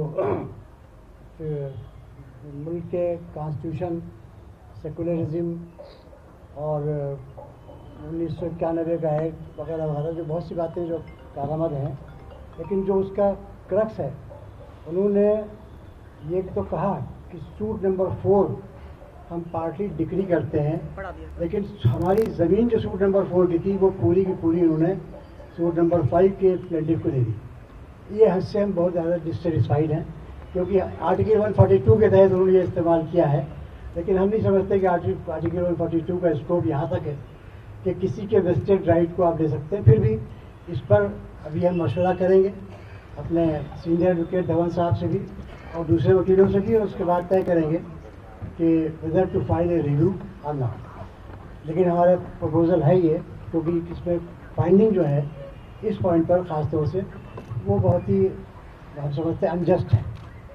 लेकिन सुप्रीम कोर्ट का जजमेंट इसके साथ हमेशा से कहते रहे कि हम रेस्पेक्ट करते हैं इसकी और पूरे मुल्क के आवाम से यही अपील करते हैं कि वो पीस और ट्रैंक्विलिटी को मेंटेन रखें। किसी किस्म का कोई प्रोटेस्ट या कोई एहतियात किसी साइड से नहीं होना चाहिए। ना कोई इसके लिए ये सोचना चाहिए कोई डिफीट किसी की है या किसी की विक्ट्री है। तो that we have always and today also we reiterated it and whatever legal course is possible that we will adopt we are specially dissatisfied this some findings of the honourable supreme court which we are just heard but after going through the judgement we will clarify two things in detail So today I can only say that judgment is not satisfactory and is not as per our expectations. We are not satisfied with it, and especially from the fact that the land of the mosque, even of the inner courtyard, in which prayers were offered, that too has been given to the other side. इसमें ये इस, हम इसको न equity मान सकते हैं न justice मान सकते हैं फिर भी हम इसके बारे में जो कुछ लीगल रेमेडी होगी वो उसके बारे में तय करेंगे, बाद में आपको बताएँगे। आज तो इतना ही हम कहना चाहते हैं कि जो ऑब्जर्वेशंस में आए, उसमें बहुत से ऐसे ऑब्जर्वेशंस हैं जो चीफ जस्टिस ने प्रोनाउंस किया जजमेंट सुनाया। इसके अंदर बहुत से ऐसे ऑब्जर्वेशन हैं जो मुल्क के लिए फ़ायदेमंद हो सकते हैं मुस्तबिल में। इस सेकुलर स्ट्रक्चर को कायम रखने में ये जजमेंट कहीं किसी हद तक हमारा पूरे मुल्क के लिए मददगार हो सकता है। तो हम हर पार्ट को नहीं क्रिटिसाइज कर रहे हैं, लेकिन कुछ पार्ट उसका, जहाँ की फाइंडिंग दी गई है ख़ास तौर से जो फाइंडिंग इस बात की दी गई है कि मस्जिद का कंस्ट्रक्शन माना गया। पंद्रह सौ अट्ठाईस मीर बाकी जब मीर बाकी से कह दिया तो पंद्रह सौ अट्ठाईस हो गया। और अठारह सौ सत्तावन के बाद के ये कहा गया कि इसके बाद की तो एविडेंस मिलती है। इससे पहले की एविडेंस नमाज़ पढ़ने की नहीं मिलती। अब मैं इसको कुछ और नहीं कह सकता। लिख कर ही इस बात को कहूँगा जो कुछ मैं कहना होगा कि जो चीज़ें आप रिलाई कर रहे हैं टाइफन थेलर का जो ट्रैवलर्स अकाउंट रिलाई किया आपने, और उस टाइफन थेलर के ट्रैवलर्स अकाउंट में अगर ये लिखा है कि ये मस्जिद तीन गुंबद वाली बनाई गई तो मस्जिद के लिए अब नमाज़ पढ़ने का उस, वो वो लिखेगा, ये हम एक्सपेक्ट नहीं कर सकते ट्रैवलर्स के उसमें अकाउंट में। ना वो पूजा करने, उसने लिखा है।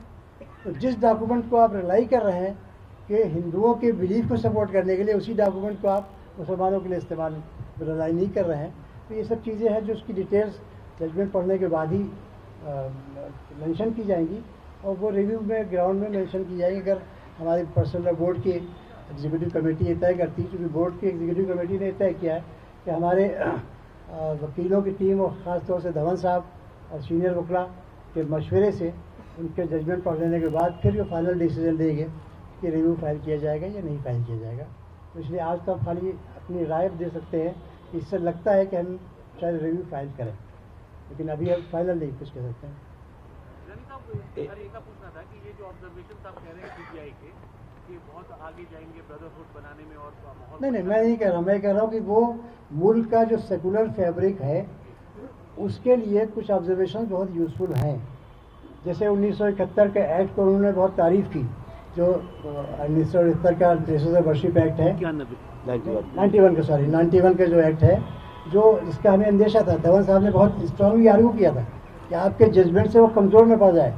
तो कोर्ट ने चीफ जस्टिस साहब ने जो पोर्शन सुनाए उसमें उसको स्ट्रेंथन किया है। तो ये चीज़ें हैं जो उन्होंने उन्होंने ये भी कहा है कि किसी एक कम्युनिटी का बिलीफ हमारे देश में इक्वलिटी है। ये ऑब्जर्वेशन जो हैं ये ये जाएँगे मुल्क के लिए फ़ायदेमंद ऑब्जर्वेशन हैं जो मुस्तबिल में पूरे मुल्क को हेल्प करेंगे। जजमेंट में जो आप कह रहे हैं उसमें क्या टेक अवे पॉइंट्स हैं जो देखिए मैं सबसे सबसे सबसे सबसे पहला पॉइंट तो मैंने आपसे कहा ना कि उन्होंने सूट नंबर फोर को भी लिमिटेशन से बाहर नहीं माना पार्टली डिग्री किया और आउटर कोर्ट यार्ड के बारे में हमें ग्रीवांस नहीं है चूँकि आउटर कोर्ट यार्ड का चबूतरा एग्जिस्ट कर रहा था। इनर कोर्ट यार्ड के बारे में उन्होंने ये कहा कि इनर कोर्ट यार्ड में भी, चूँकि मुसलमानों का कब्ज़ा अट्ठारह के पहले का एविडेंस नहीं जो हमारे ख्याल से जो एविडेंस उन्होंने यूज़ की है वो सब रेफ़र कर रही मस्जिद को। और उस मस्जिद में कोई पूजा पाठ का ज़िक्र उसमें नहीं है। तो अब उसी एविडेंस को जो उसको उन्होंने रिलाई किया है, हिंदुओं की आस्था के ताल्लुक से, वही एविडेंस तो मुसलमानों की मस्जिद शो कर रही तो जब मस्जिद का एग्जिस्टेंस है और मस्जिद किसी और काम के लिए नहीं है खुद उन्होंने माना है। उन्होंने माना है कि हाँ सोलह दिसंबर तक नमाज़ हुई। उन्होंने माना है कि इस मस्जिद का में सरेंडर नहीं किया गया था मस्जिद को। मस्जिद को अबंडन नहीं किया गया था। तो फिर जब मस्जिद है तो नमाज़ वहाँ तो होगी। उन्नीस सौ चौबीस के डॉक्यूमेंट भी माने होंगे तो जब मस्जिद में नमाज़ हो रही तो उसको दूसरी कम्युनिटी को दे देना, ये हमारे समझ में इंसाफ नहीं है। आपने कहा रिव्यू के बारे में रिव्यू का जो है ए- एक एक मिनट एक मिनट। आप जरा एक मिनट ही मगर उन्होंने ये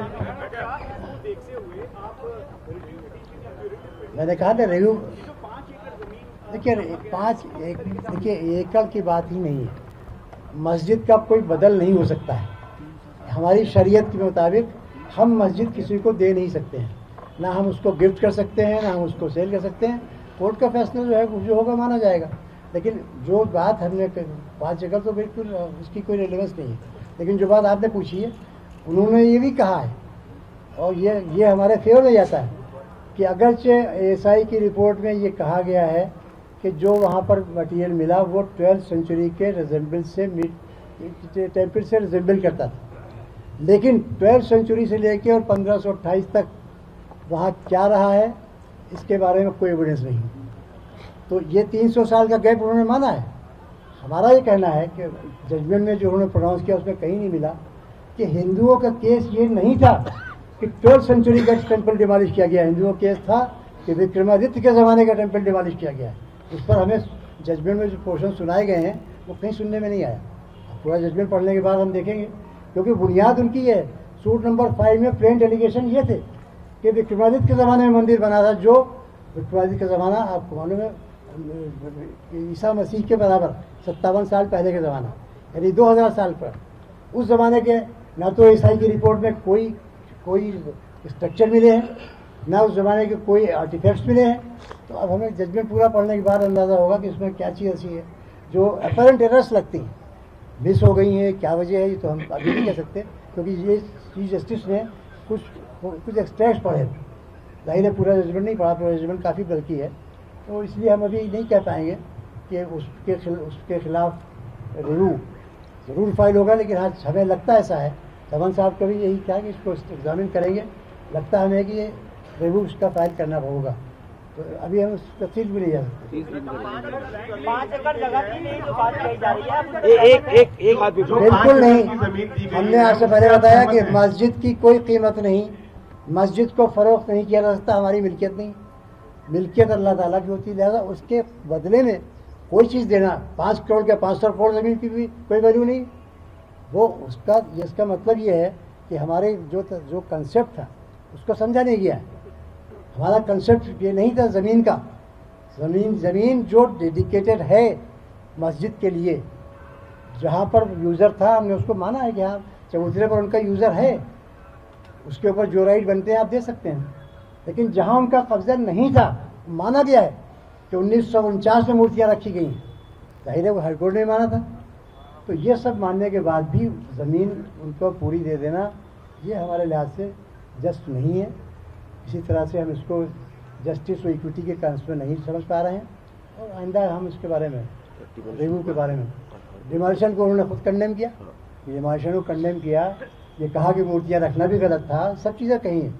यही मैंने कहा कुछ चीज़ें ऐसी हैं कि जो मुस्तबिल में मुल्क के लिए फ़ायदेमंद हैं लेकिन हमारा राइट जो चला गया है इस जजमेंट से उसके लिए हमें ज़रूर अभी अपने एफर्ट छोड़ना नहीं है और हमें उम्मीद है कि हम इसके लिए तो ज़फ़र साहब तमाम हकाइक दलाइल पेश किए गए बावजूद इसके आपको लगता है कि जितने भी एविडेंसेस पेश किए गए कि उस पर किसी तरीके का दबाव का फैसला है या कुछ ऐसा नहीं बिल्कुल हम कुछ नहीं कहेंगे। ये चीज़ें कभी हमने नहीं कही हैं हमने हाईकोर्ट के बारे में नहीं कहा है। ये आप समझ लीजिए। ये वो लोग कहते हैं, दबाव वाली बात जो जजमेंट नहीं मानते। हमने कभी नहीं कहा है किसी फैसले को। हाई कोर्ट के फैसले में हमने कभी नहीं कहा दबाव का है तो सुप्रीम कोर्ट के फैसले को। हम पूरी रिस्पेक्ट देते हैं। सुप्रीम कोर्ट को पूरी रिस्पेक्ट हमेशा दी है, आज भी दे रहे हैं। जजमेंट से डिसएग्री करना, ये हमारा राइट है। लेकिन तो हम उसको डिसएग्री करेंगे रिस्पेक्ट कार सेवा के समय होती है अभी इस पल मुझे भी वही भाव अनुभव होता है। मैं आप सभी को, पूरे देश को, दुनिया भर में बसे सिख भाइयों बहनों को बहुत बहुत बधाई देता हूँ। आज शिरोमणि गुरुद्वारा प्रबंधक कमेटी, उन्होंने मुझे कौमी सेवा पुरस्कार भी दिया। ये पुरस्कार, ये सम्मान, ये गौरव हमारी महान संत परंपरा के तेज, त्याग और तपस्या का प्रसाद है। मैं इस पुरस्कार को, इस सम्मान को गुरु नानक देव जी के चरणों में समर्पित करता हूँ। आज इस पवित्र भूमि से गुरु नानक साहब के चरणों में, गुरु ग्रंथ साहब के सामने में मैं नम्रतापूर्वक यही प्रार्थना करता हूँ कि मेरे भीतर का सेवा भाव दिनों दिन बढ़ता रहे और उनका आशीर्वाद मुझ पर ऐसे ही बना रहे। साथियों, गुरु नानक देव जी के 550वें प्रकाश उत्सव से पहले integrated check post Kartarpur Sahib corridor, इसका आरंभ होना हम सभी के लिए दोहरी खुशी लेकर के आया। कार्तिक पूर्णिमा का पर्व। इस बार देव दीपावली और जगमग होकर के हमें आशीर्वाद देगी। भाई और बहनों, इस कॉरिडोर के बनने के बाद अयोध्ये प्रकरणी सुप्रीम कोर्टानं महत्वाचा निकाल दिलेला आहे. याविषयी अधिक माहिती देण्यासाठी प्रवीण तोगड़े आपल्यासोबत आहे प्रवीणजी क्या कहेंगे? वहीं मंदिर भव्य यह साढ़े चार सौ वर्षो का करोड़ों हिंदुओं का स्वप्न हम्म। विजय के साथ पूरा होने जा रहा है। जी। मैं सुप्रीम कोर्ट का निर्णय का स्वागत करता हूँ और साढ़े चार सौ वर्षो में बलिदान देने वाले कोठारी बंधु अशोक सिंगल जैसे चार लाख रुपए सवा रुपया देने वाले आठ करोड़ हिंदू और राम मंदिर के लिए खड़े रहने वाले हिंदू समाज को धन्यवाद करके यह विजय की बधाई संपूर्ण हिंदू समाज को दे रहा हूँ। जी जो अ, सुप्रीम कोर्ट ने ये कहा है कि पाँच एकड़ एकड़ ज़मीन जो है वो सुन्नी वक्फ बोर्ड को दी जाए उसके बारे में क्या कहेंगे?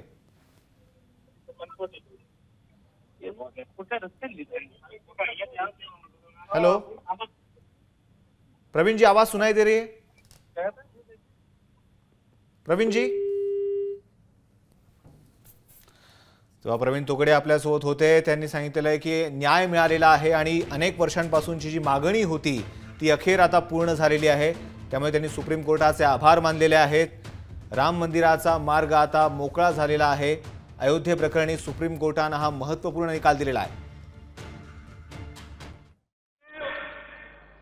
एक गुरु होने के साथ साथ एक विचार है जीवन का आधार है हमारे संस्कार हमारी संस्कृति हमारे मूल्य हमारी through the ages.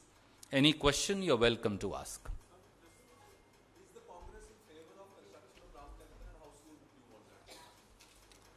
Supreme court का निर्णय आ चुका है। स्वाभाविक तौर से आपके सवाल का जवाब हाँ में है। भारतीय राष्ट्रीय कांग्रेस, भगवान श्री राम के मंदिर के निर्माण की पक्षधर है। Any other questions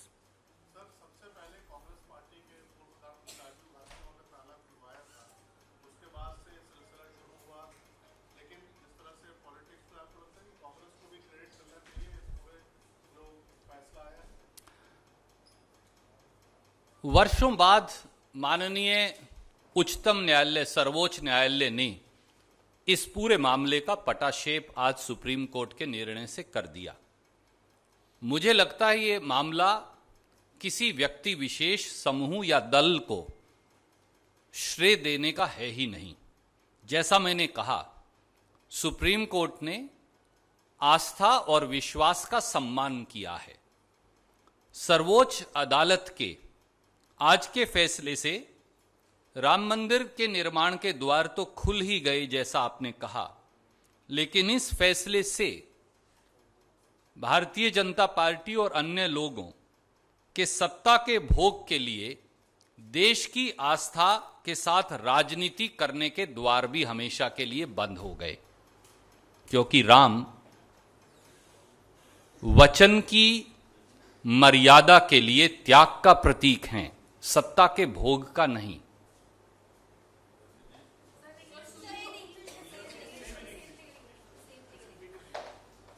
Can I just take the question in then I will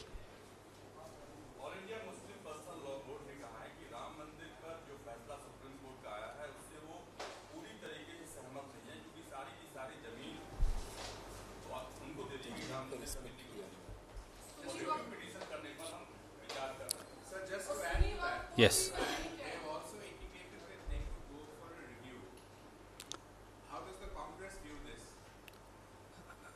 I was hearing the press conference by them, and they have also said that they deeply respect the judgment of the Supreme Court of India. Of course, everybody has a right to their own legal remedies, and they can always choose to exercise their remedies. But as far as the Indian National Congress goes, we have said what we have to say by way of a specific resolution and taken your specific question. Any other question?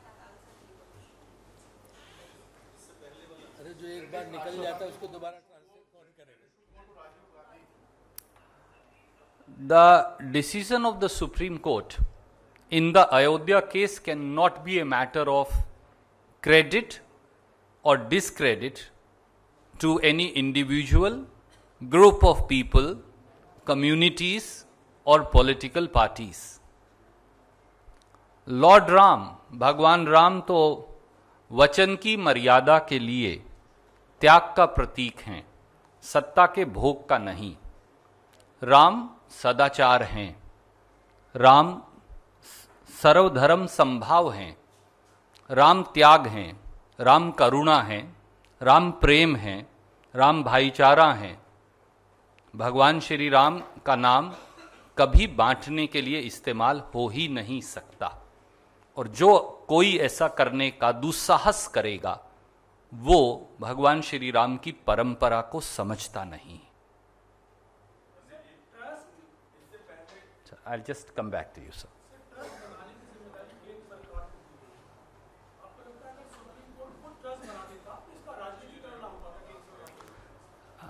इसके कई पहलू हो सकते हैं और जो कानूनविद हैं वो अपने तरीके से चर्चा करेंगे। भारतीय राष्ट्रीय कांग्रेस का केवल ये मानना है, सुप्रीम कोर्ट ने निर्णय कर दिया, सब पक्षों को, समुदायों को और व्यक्तियों को उसका सम्मान करना चाहिए। और मैं ये याद दिलाऊं कि ये ज़मीन उन्नीस सौ तिरानवे में कांग्रेस की सरकार के द्वारा एक्वायर की गई थी।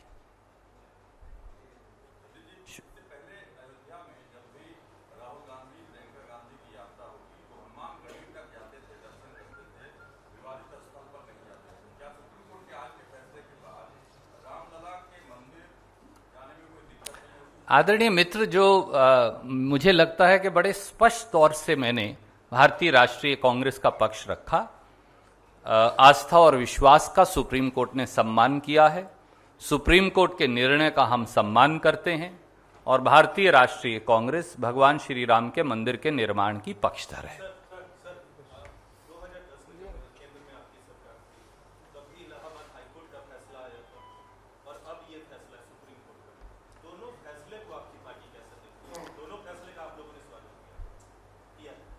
भारतीय राष्ट्रीय कांग्रेस का कंसिस्टेंट अनक्वेश्चनड स्टैंड बड़ा क्लियर रहा है कि जो निर्णय अदालत का आए और सुप्रीम कोर्ट फाइनल अदालत है, उस निर्णय का सभी पक्ष, सभी समुदाय, सभी दल, सभी व्यक्ति पूर्णतः सम्मान करें और उसे मंजूर करें। उसमें कोई शक की गुंजाइश है ही नहीं। धन्यवाद।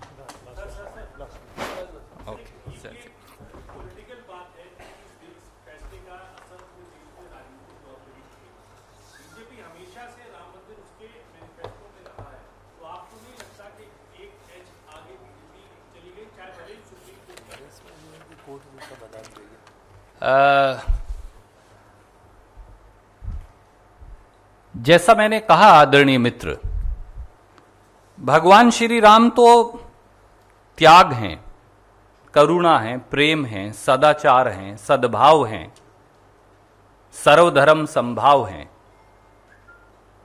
व्यक्ति और दल, भगवान श्री राम का इस्तेमाल राजनीति के लिए समय समय पर करते आए हैं। पर आज के सुप्रीम कोर्ट के निर्णय ने जो दल या समूह या राजनीतिक पार्टियाँ भगवान श्री राम का इस्तेमाल सत्ता के भोग के लिए करना चाहते थे, देश की आस्था से राजनीति करने के लिए उनके द्वार इस निर्णय ने सदैव के लिए बंद कर दिए शुक्रिया। We'll release to you both the resolution.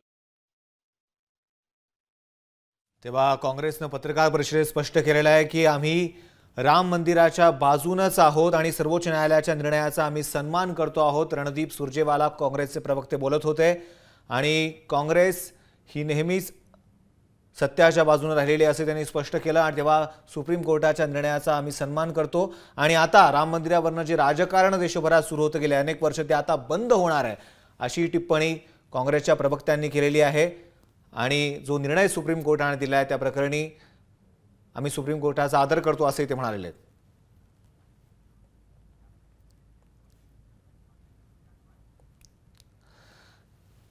अतिशय महत्त्वाचा निकाल सुप्रीम कोर्टाने दिलेला आहे आणि या प्रकरणी अधिक माहिती देण्यासाठी चर्चा करण्यासाठी आपल्यासोबत आहेत ज्येष्ठ विधिज्ञ Asim advocate Asim Sarode sir. Asim sir हा जो महत्त्वाचा निकाल सुप्रीम कोर्टाने दिलेला आहे आपल्या प्रेक्षकांसाठी सोप्या शब्दात या निकालाचं विश्लेषण तुम्ही कसं कराल?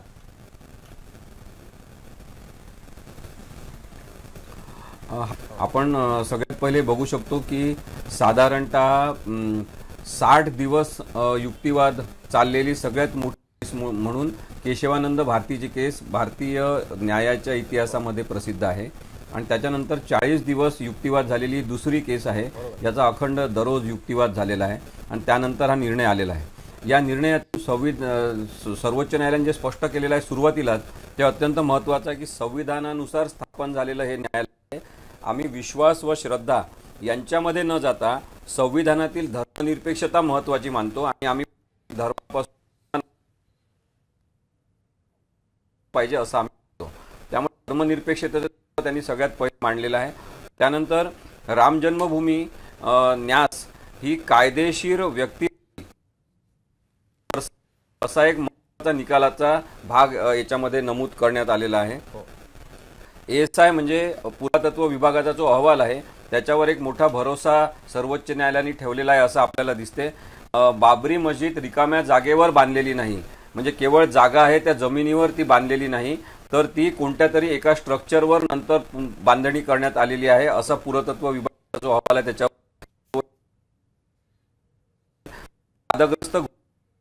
एक स्ट्रक्चर आढळून आलेलं आहे जे स्ट्रक्चर मुस्लिम धर्म परंपरा किंवा संस्कृतीचं प्रथम दर्शनी द्योतक आहे असं दिसत नाही.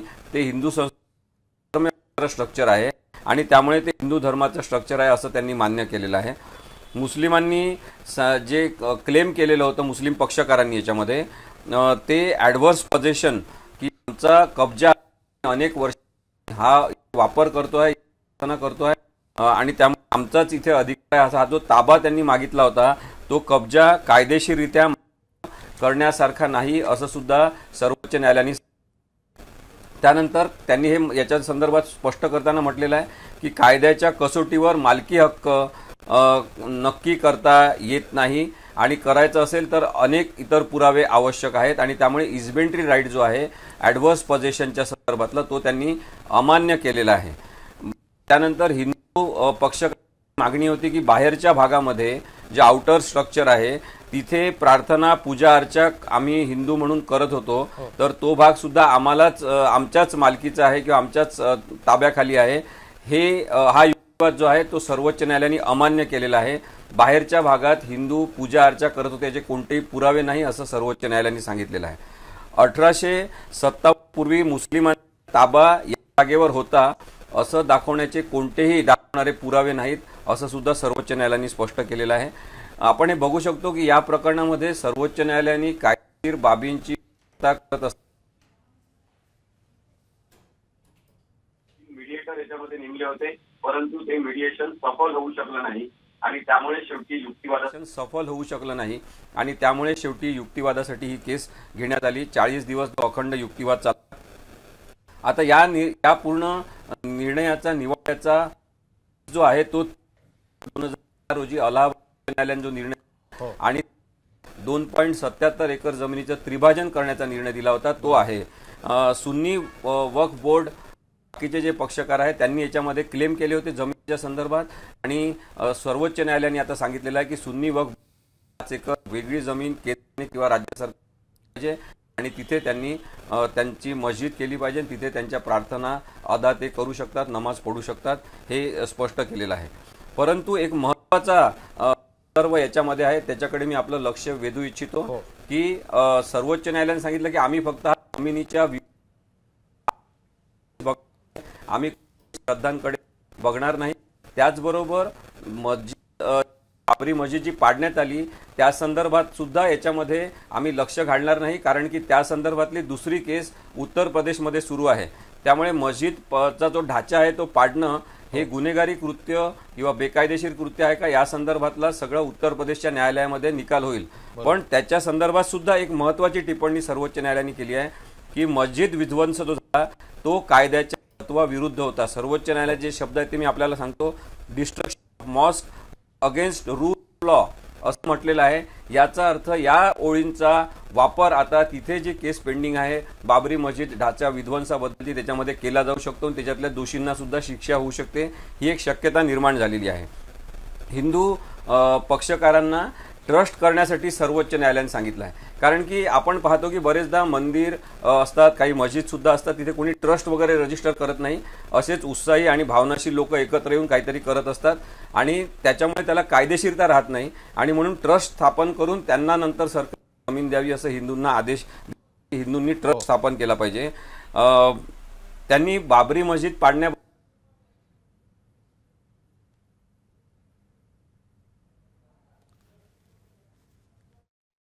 करणार असं सर्वोच्च न्यायालयाने सूचित केलं. म्हणजे रॉंग कमिटेड म्हणजे ती जी बाधित कृती गुन्हेगारी किंवा बेकायदेशीर स्वरूपाची झालेली आहे ती झाली.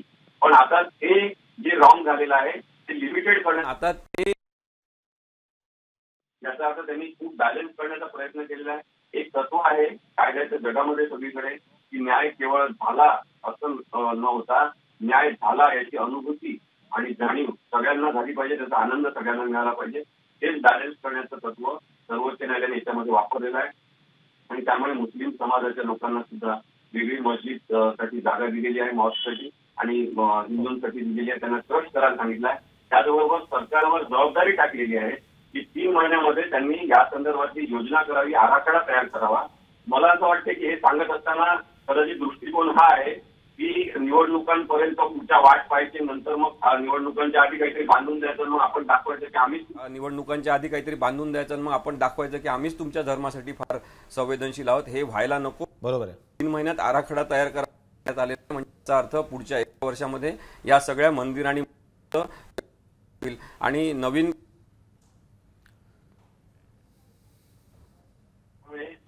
हिंदू पक्षकार किंवा मुस्लिम पक्षकार यांना सगळ्यांना बाजूला सारून सरकारने ही जमीन त्यांच्या ताब्यात घ्यावी हे सर्वोच्च न्यायालयाने सुचवलेलं आहे. आणि या पार्श्वभूमीवर हे महत्वाचं आहे एकोणीसशे त्र्याऐंशी मध्ये ही संपूर्ण जमीन काँग्रेस पक्षाच्या कालावधीमध्ये सरकारने ऑलरेडी अधिग्रहण केलेली होती पण हे कब्जेदार झाले होते. म्हणजे हे पक्षकार हिंदू असतील किंवा मुस्लिम असतील या केसमध्ये त्यांनी तिथे कब्जा केला होता. आणि त्यामुळे सरकारचीच जमीन आहे आणि ती सरकारने ताब्यात घ्यावी असं सांगितलेलं आहे. म्हणून आता सरकारवरची पक्षनिरपेक्ष पद्धतीने आणि सेक्युलर पद्धतीने यावर कार्यवाही करण्याची जबाबदारी. वाढलेली आहे. बरोबर आहे. असीम सर यामध्ये सुप्रीम कोर्टानं एक असंही सांगितलेलं आहे की मुस्लिम पक्षकारांना त्यांनी पाच एकर जागा दिलेली आहे. तर यावर मुस्लिम पक्षकारांनी जी पत्रकार परिषद घेतली त्यावर त्यांनी असं म्हटलं की आम्ही कोर्टाच्या निर्णयाचा आदर करतो परंतु आम्ही समाधानी नाही आहे आणि या पूर्ण निकालाचं वाचन करून यावर काय पुढे पावलं उचलायची आम्ही ठरवू. तेव्हा त्यांच्यासमोर काय आता पर्याय आहेत? त्यामध्ये एक रिव्ह्यू पिटिशनचा जो भाग असतो त्यावर तुम्ही काय विश्लेषण कराल? रिव्ह्यू पिटिशन ते जरूर करू शकतात आणि हो. प्रत्येकाला तो कायदेशीर हक्क आहे. परंतु प्रत्यक्ष जजमेंट वाचल्यावर त्याच्यामधल्या गॅप्स कोणते आहे हे बघता येईल. कारण सगळ्यात महत्वाचं ठरणार आहे ते म्हणजे केवळ आर्किओलॉजिकल सर्वे म्हणजे पुरातत्व विभागाच्या अहवालावर अहवाला ठेवून किंवा विश्वास ठेवून जर निर्णय दिला गेलेला असेल तर मग त्या सरकारी यंत्रणेने दाखल केलेला अहवाल योग्य आहे की अयोग्य आहे या संदर्भातली चर्चा एक होऊ शकते. दुसरी जे सर्वोच्च न्यायालयाने सांगण्याचा सतत प्रयत्न केलाय की आम्ही श्रद्धा आणि भावनांचा विचार न करता केवळ कायदेशीरतेच्या दृष्टिकोनातून ही केस निकालात काढणार आहे. हो. तर तिथे ते श्रद्धा आणि भावनांचा संदर्भ जर घेतला गेला असेल तर त्याला आव्हान नक्कीच दिलं जाऊ शकतं. त्यामुळे आव्हान देणं एखाद्या सर्वोच्च न्यायालयाच्या केसला हे काही बेकायदेशीर नाहीये. तो घटनात्मक अधिकार आहे. आणि तसं जर कोणी करणार असतील तर ते देशद्रोही किंवा देशविरोधी किंवा न्यायालय विरोधी आहे असं पण करत नाही. त्यांना तो भारतीय नागरिक म्हणून अधिकार आहे तो वापरू शकतात. हिंदू पक्षकार किंवा मुस्लिम पक्षकार कोणी याच्यामधले अपील करू शकतात. सर मी तुम्हाला थोडं थांबवतोय. मुरली मनोहर जोशी बोलतायत. तरीके से इसका अनुपालन करना चाहिए. वास्तव में श्री राम की जन्म स्थान के बारे में जो सरकार, ये उच्चतम न्यायालय ने ये फैसला दिया है कि ये उनका जन्म स्थान था और ये ज़मीन हिंदुओं की थी। मैं ये समझता हूँ कि श्री राम तो सारे विश्व के हैं, वो केवल किसी एक संप्रदाय, जाति, भाषा या भूगोल से बंधे हुए नहीं हैं। और भारत में तो जो जितने भी मुख्य मुख्य संप्रदाय रहे हैं सभी ने श्री राम को एक आदरणीय या पूजनीय व्यक्तित्व के रूप में माना है। वो भारत की एकता और भारत की अखंडता इसके प्रतीक भी रहे हैं। तो इसलिए उनके जन्म स्थान को उसी दृष्टि से देखा जाना चाहिए। और वहाँ अब एक भव्य मंदिर के निर्माण की जो प्रक्रिया है, उसके बारे में ध्यान दिया जाना चाहिए। और वो भी इस ढंग से बने कि जिसके निर्माण में सबका सहयोग और सबका की सहभागिता प्राप्त हो सके। वो एक राष्ट्रीय एकता अखंडता का और राष्ट्र के स्वाभिमान का प्रतीक बनना चाहिए। मैं ऐसा समझता हूँ कि इस निर्णय के पश्चात ये विवाद अब यहीं समाप्त हो जाना चाहिए। सबको इसके आगे बढ़ने की ज़रूरत है। जो हो गया है, उसको स्वीकार करके अब आगे की तरफ़ दृष्टि दी जाए और वो राष्ट्र के नए निर्माण की, नए हिंदुस्तान को अपनी प्राचीन जड़ों के साथ जोड़ते हुए एक नए हिंदुस्तान की रचना की तरफ़ हमें आगे बढ़ना चाहिए, तभी यह देश विश्व में अपना महत्वपूर्ण स्थान प्राप्त कर सकेगा। इस फैसले को मैं इसी दृष्टि से देखता हूँ और ये मुझे इस बात की भी बहुत प्रसन्नता है कि इस आंदोलन में भारतीय जनता पार्टी के उस समय के अध्यक्ष के रूप में मुझे भी कुछ समर्थन और सहयोग करने का अवसर मिला था। धन्यवाद। है वो कौन बोल रहा है सवाल? गेट आउट क्या बात हुई थी? कोर्टाच्या निर्णयाचा आदर व्यक्त कोर्टाच्या निर्णयाप्रती आदर व्यक्त केलेला आहे मुरली मनोहर जोशी यांनी. आणि आता हा खटला इथं संपलेला आहे तेव्हा आता पुढे जाण्याची गरज आहे अशी अपेक्षा त्यांनी व्यक्त केलेली आहे. आपल्यासो आपल्यासोबत चर्चा करतायत advocate Asim Sarode sir. Sarode sir Sunni सुनी वक्फ बोर्डासमोर असलेल्या पर्यायांविषयी बोलत होता. जसं मी सांगितलं की वक्फ बोर्ड असेल किंवा हिंदू पक्षकार याच्यामध्ये असतील त्यांना कायदेशीर अधिकार आहे की ते ऑफिस करू शकतात एखाद्या मुद्द्यावर. परंतु तत्पूर्वी मला आता अं, मुरली मनोहर जोशी यांनी जे दोन तीन मुद्दे मांडले त्याच्याबद्दलची कायदेशीर स्पष्टता लोकांमध्ये असली पाहिजे असं मला वाटतं. बरोबर आहे. कारण की सर्वोच्च न्यायालयाने आधी सुद्धा स्पष्ट केलेलं आहे कोणत्याही प्रकारे धार्मिक तेढ निर्माण निर्माण करणारं वक्तव्य तुम्ही करू नये. बरोबर आहे. आणि गैरसमज सुद्धा कोणताही पसरू नये. त्यामुळे आपण हा चांगला समज कायदेशीर जो न्यायालयाच्या निर्णयातून दिला पाहिजे त्याच्याबद्दल अधोरेखित करणं आवश्यक आहे असं मला वाटतं. आता त्यांनी जे सांगितलं की ती रामाची जन्मभूमी होती असं सर्वोच्च न्यायालयाने मान्य केलं. असं सर्वोच्च न्यायालयाने मुळीच मान्य केलेलं नाही. हा चुकीचा वाक्यप्रयोग त्यांनी केलेला आहे. तिथे केवळ एकोणीसशे एकोणपन्नास मधून एकोण एकोणीसशे एकोण एकोणपन्नासपासून राममूर्ती होती आणि तिथे पूजा अर्चा होत होती एवढंच त्यांनी सांगितलेलं आहे. आणि त्यामुळे राम ही व्यक्ती होती की नाही अं, राम ही आपली श्रद्धेची व्यक्ती अं, आहे की एक व्यक्ती प्रत्यक्षात होती की नाही याबद्दलच्या धर्मभावनांबद्दल सर्वोच्च न्यायालय काही बोललेलं नाही आणि म्हणून लोकांनी लक्षात घेतलं पाहिजे की एकोणीसशे एकोणपन्नासपासून साधारणतः इथे राममूर्तीची प्रस्थापना करण्यात आली तिथे अं, रामाचं स्ट्रक्चर होतं आणि तिथे रामाची चर्चा होत होती एवढंच अं, मान्य करण्यात आलेलं आहे सर्वोच्च न्यायालयाने की बरोबर. जन्मभूमी होती किंवा तिथे रामलल्लाचा जन्म झाला वगैरे कोणीच मान्य केलं नाही उलट रामलल्ला अं, समिती नावाचे जे काही पक्षकार आहे हो. त्यांना त्यांनी लिगल एंटिटी तुम्ही नाही असं सांगितलेलं आहे की तुम्ही कायदेशीर दृष्ट्या पक्षकार सुद्धा होऊ शकत नाही तुम्हाला आम्ही काही देऊ शकत नाही कारण की तुम्ही अं, कायदेशीर दृष्टिकोनातून लिगल एंटिटी नाही म्हणजे कायदेशीर व्यक्ती असलेली आयडेंटिटी तुमची नाही असं त्यांनी सांगितलेलं आहे हे लक्षात घेतलं हो बरोबर आहे तुम्ही ते स्पष्ट केलं. आणि म्हणूनच खरं तर सोप्या शब्दात याचं विश्लेषण होणं गरजेचं आहे असीम सर. आणि खरं तर ही विशेष गोष्ट यासाठी होती की पहिल्यांदाच म्हणजे रामलालासुद्धा या खटल्यामध्ये पक्षकार होते. तेव्हा या गोष्टीकडे तुम्ही याचं कसं विश्लेषण कराल? त्यांचं अस्तित्व कोर्टाकडून त्याविषयी काय टिप्पणी करण्यात आलेली? कोर्टाने आधी स्पष्ट केलं होतं की आम्ही कोणत्याही भावना आणि श्रद्धांच्या विषयावर बोलणार नाही. आणि त्या अनुषंगाने त्यांनी शेवटपर्यंत पाळलेलं आहे की रामाचा जन्म तिथे झाला? राम नावाची व्यक्ती प्रत्यक्षात अस्तित्वात होती का? ती एक धार्मिक आपण तिथे तयार केलेली आहे धर्म आणि धर्म रक्षण होण्यासाठी किंवा धर्माच्या मार्गावर सगळ्यांनी चालण्यासाठी. याबद्दल त्यांनी कोणतेही वक्तव्य केलेलं नाही. त्यांनी केवळ हा एक जमिनीच्या विवादाचा मुद्दा म्हणून डिसाईड करायचं ठरवलेलं होतं. हो. आणि त्या पद्धतीला पुढे अनुसरून त्यांनी पुरातत्व विभागाने जे दाखले त्याच्यासमोर ठेवले पुरावे ठेवले आणि अहवाल त्याच्यासमोर सादर केले. त्याच्या आधारे त्यांनी बघितलं की इथे डोमच्या खाली मुख्य जो डोम आहे त्याच्या एक्झॅक्ट खाली जे स्ट्रक्चर आढळलेलं आहे ते रामाची पूजा अर्चा केली जात होती. हे स्ट्रक्चर मुस्लिम संस्कृतीचं परिवाहक आहे किंवा त्याच्याशी संबंधित आहे असं वाटत नाही. आणि ते हिंदू संस्कृतीचं कदाचित मंदिर सारखं आहे. आणि म्हणून त्यांनी तिथे पूजा अर्चा होत होती आणि एवढंच मान्य केलं आणि त्याच्यावर बाबरी मशीद हे स्ट्रक्चर करण्यात आलं हे मात्र मान्य केलेलं आहे. आणि म्हणूनच त्यांनी मग सगळ्यांना न्याय मिळाला पाहिजे तत्व पालन करत असताना पाच एकर ज़मीन त्यांना सुद्धा पाच एकर ज़मीन अशा पद्धतीने देण्याचा प्रयत्न केलेला आहे. आणि दूर दूर दोन्ही जागा असतील आणि तिथे वेगवेगळ्या धर्मश्रद्धा असणारे हिंदू किंवा मुस्लिम लोक आपापल्या. भावनांचं अभिव्यक्ती करू शकतील. त्या अर्थ आणि नमाज़ पढू शकतील वो जगह भगवान राम के मंदिर के लिए सुप्रीम कोर्ट ने बगैर हिस्सा बांट किए।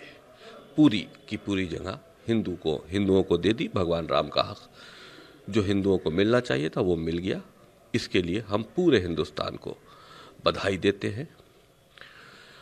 अब जो पाँच एकड़ ज़मीन मुस्लिम पक्षकारों को दिए जाने की बात सुप्रीम कोर्ट ने कही है, उसके बारे में अभी हम थोड़ी देर के बाद आपस में वकीलों से विचार कर रहे हैं, क्योंकि कोर्ट ने ये मान लिया है कि ये बाबर ने नहीं मीर बाकी ने बनाई थी। और मीर बाकी क्योंकि शिया था, लिहाजा इस ज़मीन से जो दी जा रही है, उसमें सुन्नी पक्षकारों का या सुन्नी वक्फ बोर्ड का कोई रोल नहीं होना चाहिए, क्योंकि मीर बाकी के हिसाब से स्ट्रक्चर जो, क्योंकि उस स्ट्रक्चर के बदले में दी जा रही है।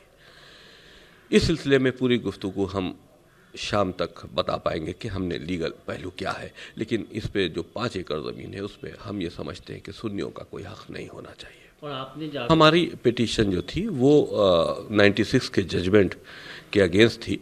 ज़ाहिर सी बात है इकहत्तर साल के बाद हमने अपील दाखिल की थी। और अभी ऑर्डर आने दीजिए किस ग्राउंड के ऊपर खारिज हुई है।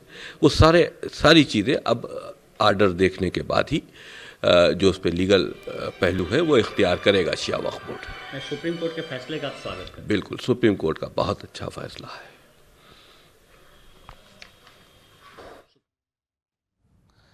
तेव्हा आता ह्या प्रतिक्रिया व्यक्त होत आहेत सर्व स्तरातून अयोध्या प्रकरणी निकाला संदर्भात। वा मुस्लिमांना अयोध्येत पाच एकर पर्यायी जागा दिली जाणार आहे आणि ट्रस्ट स्थापन करून मंदिर बांधण्याचे आदेशही सुप्रीम कोर्टाने दिलेले आहेत. असीम सर जो सुन्नी वक्फ बोर्डाकडे जो आता पर्याय आहे त्याविषयी आपण चर्चा करत होतो तर ही प्रोसेस नेमकी कशी असणार आहे? रिव्ह्यू रिव्ह्यू पेटिशन ते दाखल करू शकतात. त्यानंतर कुठल्या कुठल्या म्हणजे क्युरेटर पेटिशन एक आहे त्यामध्ये इमर्जन्सी पेटिशन आहे. तो हा कालावधी नेमका किती असतो आणि प्रोसेस नेमकी कशी असते?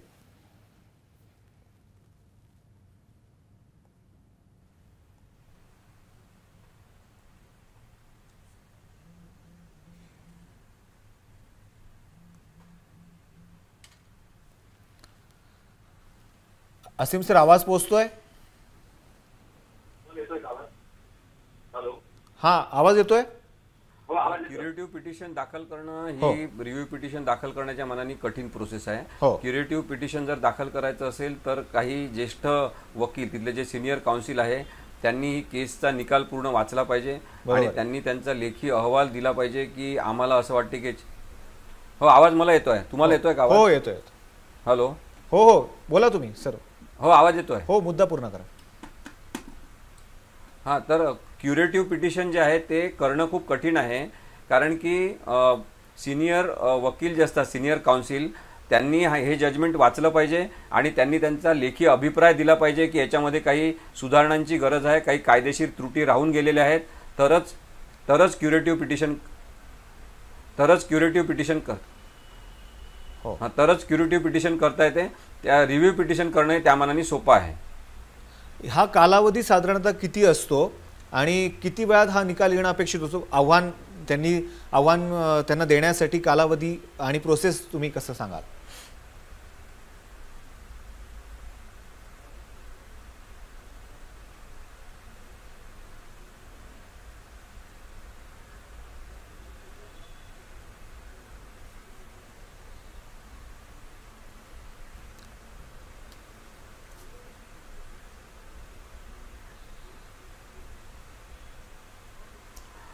जजमेंट जेव्हा सगळ्यांना डिलिव्हर होते आणि सगळ्यांना मिळते वाचण्यासाठी उपलब्ध असते हो. सुप्रीम कोर्टच्या वेबसाईटवर सुद्धा ते प्र प्रसिद्ध होत असते त्यानंतर साधारणतः तीस दिवसामध्ये आपण आव्हान याचिका केली पाहिजे क्युरेटिव्ह पिटिशन केलं पाहिजे असा एक ढोबळ नियम आहे हो. परंतु अशा अनेक केसेसच्या संदर्भात पाहण्यात आलेला आहे की जेव्हा कायदेशीरतेचा मुद्दा असतो तेव्हा उशीर झाला तरी विलंबाने सुद्धा याचिका दाखल करून घेतल्या जातात आणि सर्वोच्च न्यायालय त्याचा मोठ्या मनाने विचार करतात की आपल्या हातून कोणती चूक होऊ नये आणि महत्त्वाची काहीतरी कायदेविषयक सुधारणा करायची असेल तर अशा वेळेस विलंब जो आहे तो सुद्धा माफ केला जातो आणि अशा केसेस याचिका म्हणून दाखल करून घेतल्या जातात. अच्छा. यात अजून एक महत्त्वाची गोष्ट ती अशी आहे की जेव्हा खंडपीठ एखाद्या प्रकरणी निकाल देत असतं तेव्हा प्रत्येक न्यायमूर्तींकडनं संविधानाचे विश्लेषण अपेक्षित असतं. तेव्हा तसा कसा तसं काही विश्लेषण इथं झालेलं आहे का?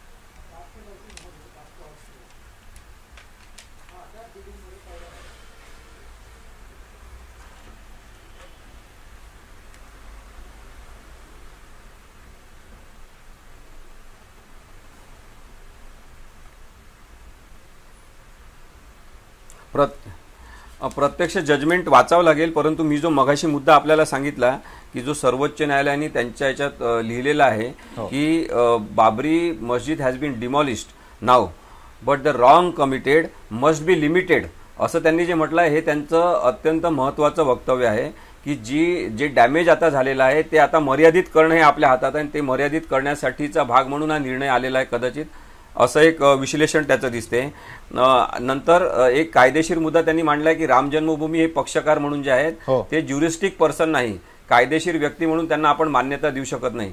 आणि ज- सर्वोच्च न्यायालयाने जे आदेश दिलेला आहे की ट्रस्ट स्थापन करावा हिंदूंनी आणि त्यानंतर तिथे मंदिराचं निर्माण जे होणार आहे त्या त्या ट्रस्टतर्फे झालं पाहिजे ट्रस्टच्या मदतीने सहभागाने झालं पाहिजे. ह्या ज्या सरकारला सूचना दिल्या आहेत यासुद्धा महत्त्वाच्या आहेत. कारण की बरेचदा अपारदर्शकता ठेवून बऱ्याचशा धर्मांचं म्हणजे हिंदू असो किंवा मुस्लिम असो धर्मसंस्था ज्या असतात त्या बरेचदा किंवा मंदिरं मस्जिद हे असतात ते अपारदर्शकता प- ठेवून कार्य कार्यभार त्यांचा करत असतात. हो. त्याच्यामध्ये जमा होणाऱ्या पैशांचा हिशोब आणि बेहिशेबी मालमत्ता याच्या संदर्भातले काही तारतम्य त्यांच्यामध्ये नसते आणि म्हणून ट्रस्ट स्थापन करा असं सांगितलेलं आहे कारण की ट्रस्ट स्थापन केल्यावर एक कायदेशीरता आपोआप प्राप्त होते. त्याचा हिशोब ठेवावा लागतो ऑडिट रिपोर्ट दरवर्षी करावा लागतो. याची काळजी सर्वोच्च न्यायालयाने घेतली आहे असं दिसते नक्कीच. असीम सर तुम्ही राहाच आपल्यासोबत. आपल्यासोबत नागपूरहून ज्येष्ठ पत्रकार गोपाळ देशमुख सर आहे.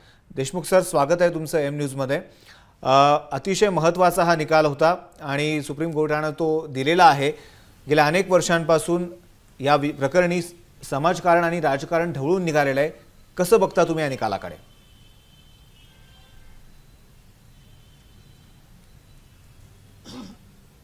माझी अशी भावना आहे की गेल्या सत्तर वर्षाच्या बंदिवासानंतर हो. रामाची आज मुक्तता झालेली आहे. कारण आपल्याला कल्पना असेल एकोणवीसशे एकोणपन्नासमध्ये या बाबरी मशिदीच्या त्या गुंबजाखाली असलेल्या राम मंदिराला कुलूप लावण्यात आलं. आणि एकोणवीसशे एकोणनव्वदमध्ये राजीव गांधी पंतप्रधान असताना हो. पहिल्यांदा ते कुलूप उघडण्यात आलं. त्यानंतर एकोणीसशे ब्याण्णवमध्ये म्हणजे तीन वर्षात तीन वर्षामध्ये जे काही घडलं ते आपल्यासमोर आहे आणि ती वास्तू उद्ध्वस्त झाली. त्यानंतर एका अतिशय तात्पुरत्या व्यवस्थेमध्ये गेले वीस वर्ष तीस वर्ष गेले तीस वर्ष राम मंदिर अतिशय तात्पुरत्या मेकशिफ्ट मंदिर म्हणता येईल अशा अवस्थेमध्ये होतं आजच्या निकालामुळे एका मंदिराच्या निर्माणाचाही मार्ग मोकळा झाला दोन समाजामधील तंट्यावर अतिशय योग्य निवाडा सुप्रीम कोर्टाने दिला हो. आणि दुसऱ्या बाजूचीही योग्य ती काळजी आणि दखल सुप्रीम कोर्टाने घेतली. त्यामुळे एकंदरीतच हा निकाल अतिशय स्वागतार्ह असा निकाल आहे असं माझं मत आहे. सर पण समोरच्या दृष्टी येत्या काळाच्या दृष्टिकोनातून हा निकाल कसा परिणामकारक ठरू शकतो? याविषयी आपलं काय मत आहे? पुढच्या दृष्टीने. याचे याचे परिणाम आणि पडसाद तर म्हणजे दो- ज्या दो- जे दोन पक्षकार होते मुख्य समाज म्हणून हो. त्यांच्यामध्ये उमटणारच आहे कमी अधिक प्रमाणामध्ये शक्यतो ती ते शांततापूर्ण उमटावे असा प्रयत्न दोन्ही बाजूंनी राहीलच. परंतु कोणत्याही समाजामध्ये किंवा समूहामध्ये काही समाजकंटक असतात ते अशा निर्णयांचा गैरफायदाही घेण्याची शक्यता नाकारता येत नाही. आणि हे दोन्ही बाजूला लागू आहे. हे काही कोणत्या एका म, याच्यावर आक्षेप घेण्यासारखा हा मुद्दा नाही आहे. त्याच्यामुळे परंतु विद्यमान जे शासन आहे किंवा विद्यमान जे शासक आहे ते पूर्वापार एक बाजू लावून धरणारं असल्यामुळे कदाचित मी ठामपणे नाही सांगू शकत कदाचित त्यांना या निर्णयाचा काही प्रमाणामध्ये राजकीय लाभ मिळू शकतो. ही शक्यता नाकारता येत नक्कीच आपल्यासोबत असीम सर पण आहेत. सिम असीम सर मी तुमच्याकडे येतो आहे की हा जो अशा प्रकरणी स- सर्वोच्च न्यायालयाला ही एक जबाबदारी असते की हा संवेदनशील निकाल आहे. आपण बघितलं आहे की कोर्टामध्ये खूप त्यावर सुनाव वाद प्रतिवाद झाले. जेव्हा राजीव ध विकास सिंग यांनी किशोर कुणाल यांच्या पुस्तकाचा दाखला दिला तेव्हा तो नक्षा राजीव धवन यांनी फाडला होता. तेव्हा या सुनावणीविषयी कोर्टातल्या तुमची नेमकं काय तुमची काय प्रतिक्रिया तुम्ही कसं बघता? या सगळ्या चाळीस दिवस चाललेल्या सुनावणीकडे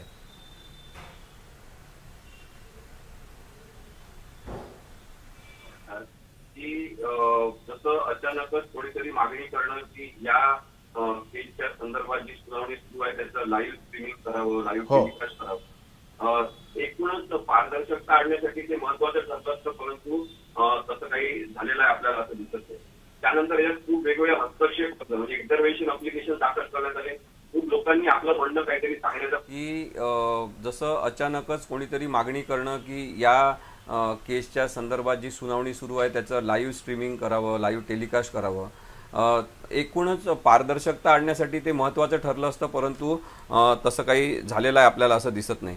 त्यानंतर याच्यात खूप वेगवेगळे हस्तक्षेप अर्ज म्हणजे इंटरव्हेन्शन अप्लिकेशन दाखल करण्यात आले. खूप लोकांनी आपलं म्हणणं काहीतरी सांगण्याचा प्रयत्न केला. ही एक अशी केस आहे ज्याच्यामध्ये खूप मोठ्या प्रमाणात राजकारण आणि धर्मकारण इन्व्हॉल्व आहे. साधारणतः केवळ कायदेशीर मुद्दा असलेली केसेस ज्या असतात त्या डिसाईड करणं कट सोपं जाते. त्या दृष्टीने ही केस खूप कठीण होती. कारण की धर्म आणि राजकीय भावनांचं व्यवस्थापन सुद्धा करण्याची एक वेगळीच जबाबदारी कदाचित सर्वोच्च न्यायालयावर याच्यामध्ये होती असं दिसते. त्यांनी तीस हस्तक्षेप अर्ज वेगवेगळे खारिज केले. त्यानंतर याच्यामध्ये प्रश्न आला तो एकोणीसशे चौऱ्याण्णवमध्ये जो इस्माइली फारुकी यांच्या संदर्भात एक जजमेंट झालं होतं. आणि त्यांनी सांगितलं होतं की नमाज पडण्यासाठी मॉस्क असलं पाहिजे ही काही प्राथमिक गरज नाही असा तेव्हाचा निर्णय होता.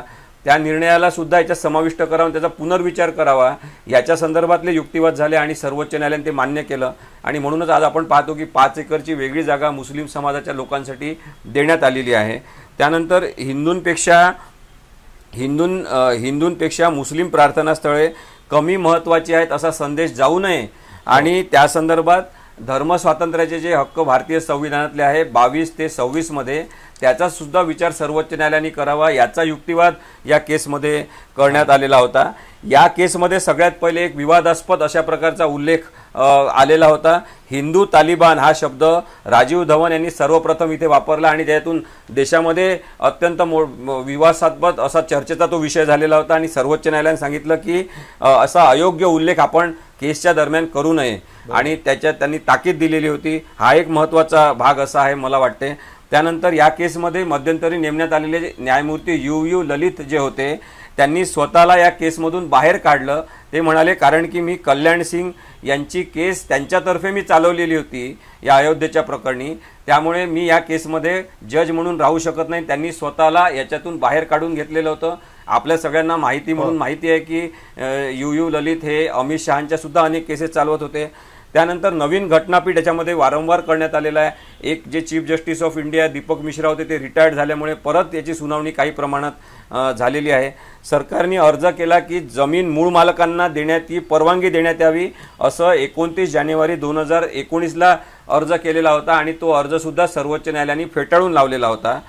Acquisition of certain area act Ayodhya एकोणीसशे त्र्याण्णव या कायद्याचा एक महत्त्वाचा संदर्भ या कायद्यामध्ये घे या केसमध्ये घेण्यात आला. मध्यस्थीच्या शक्यता तपासण्यात आल्या. श्री श्री रविशंकर यांची नेमणूक झाल्यामुळे ते सुद्धा विवादास्पद झालं होतं. आणि त्याच्यामुळे मध्यस्थी तर काही होऊ शकली नाही आणि मग काय मग कोर्टाला तो हिअरिंगसाठी केस घ्यावी लागली आणि चाळीस दिवस याचं हिअरिंग चाललेलं आहे. हे सगळं ऐतिहासिक आहे. हे. सगळं वेगळं आहे. आणि केवळ भावनांचे मुद्दे न बघता आम्ही कायदेशीरच मुद्दे बघू असं सांगून सुद्धा भावनांचं सुद्धा व्यवस्थापन न्यायालयाला दुर्दैवाने याच्यामध्ये करावं लागलेलं आहे असं सुद्धा आपल्याला दिसते बरोबर आहे.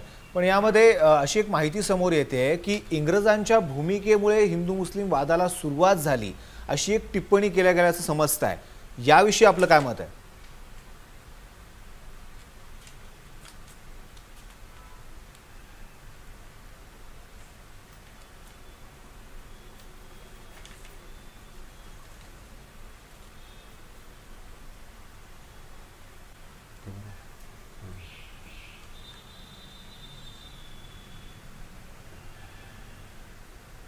मला वाटत नाही तशी काही टिप्पणी याच्यात आलेली आहे. उलट उल्लेख जो आलेला आहे न्यायालयाच्या निर्णयामध्ये तो ब्रिटिशांबद्दलचा सकारात्मकच उद्देश आहे.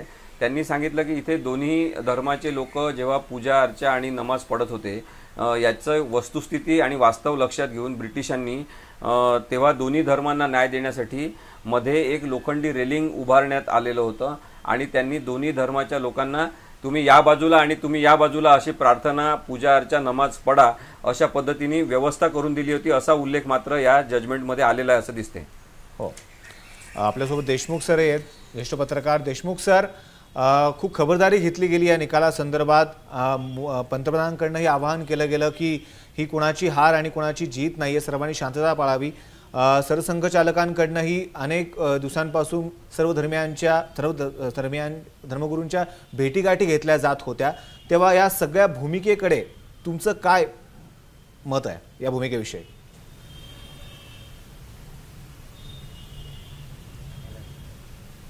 नाही आजच्या निकालानंतर मोठ्या समाजानं आपला विजय झाला आणि छोट्या समाजानं आपला पराभव झाला असं समजण्याचं काही कारण नाही आहे हो. कारण हा मुळामध्ये कायदेशीर हक्काचाच मुद्दा होता. आणि मंदिर पहिले होतं की मशीद पहिले होती याच्यातून हा वाद पुढे चिघळला. हो. त्याला राजकीय हवा दिली गेली. वेगवेगळ्या गटांनी वेगवेगळ्या भूमिका घेतल्या आणि त्यातून हा प्रश्न चिघळला. तर तो चिघळलेला प्रश्न जर सुप्रीम कोर्टानं अतिशय संयमित आणि संयत निकाल देऊन सोडवला असेल तर त्याचं संपूर्ण देशानं स्वागत केलं पाहिजे. आणि या निमित्तानं सर्वांनी शांतता पाळली पाहिजे. ही कोणाची हारजीत नाही आहे. हा ही न्यायाची जीत हो. आहे हो. असं म्हणायला हरकत नाही. काँग्रेसनं सर थोड्या वेळापूर्वीच काँग्रेसतर्फे पत्रकार परिषदेत असं सांगण्यात आलं की आम्ही या निर्णयाचं स्वागत करतो आहोत. आणि ज्या अनेक वर्षांपासून जो मुद्दा राजकारणात येत होता ज्या मुद्द्यावरून राजकारण केलं जात होतं होत होतं तो मुद्दा अखेर आता बंद होणार आहे. त्यामुळे त्यावर तो आता निकाली निघालेला आहे. तेव्हा खरंच हा मुद्दा आता संपलेला आहे?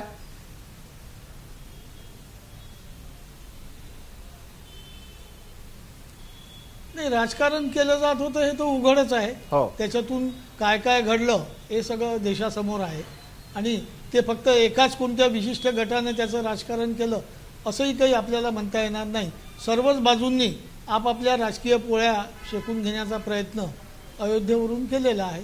ते आता यापुढे होऊ नये अशी मा आमच्यासारख्या सुबुद्ध नागरिकांची अपेक्षा राहील ती सर्व राजकीय पक्षांनी सर्व सामाजिक गटांनी जर सांभाळली तर देशामध्ये हा मुद्दा हे चॅप्टर आता क्लोज झाला आहे असं समजून शांतता नांदेल आणि सर्वसामान्य सव्वाशे कोटी भारतीयांना ती शांतता हवी आहे. नक्की सर्वांना शांतता हवी आहे आणि हा हे प्रकरण आता निकाली निघालेलं आहे त्यामुळे आता सर्वांनी इथून इथून पुढे यावर राजकारण होणार नाही अशीच अपेक्षा सर्व स्तरातून खरं तर व्यक्त होते. असीम सर एक महत्त्वाचा प्रश्न यामध्ये असा उपस्थित होतो की दोन हजार दहाला तीस सप्टेंबर दोन हजार दहाला अलाहाबाद उच्च न्यायालयाने ज्या तीन हिश्श्यांमध्ये ही वाटणी केली होती ती अतार्किक अशी ठरवलेली आहे सुप्रीम कोर्टानं. याविषयी आपलं काय मत आहे? ती फेटाळून लावलेली आहे. तो निकाल.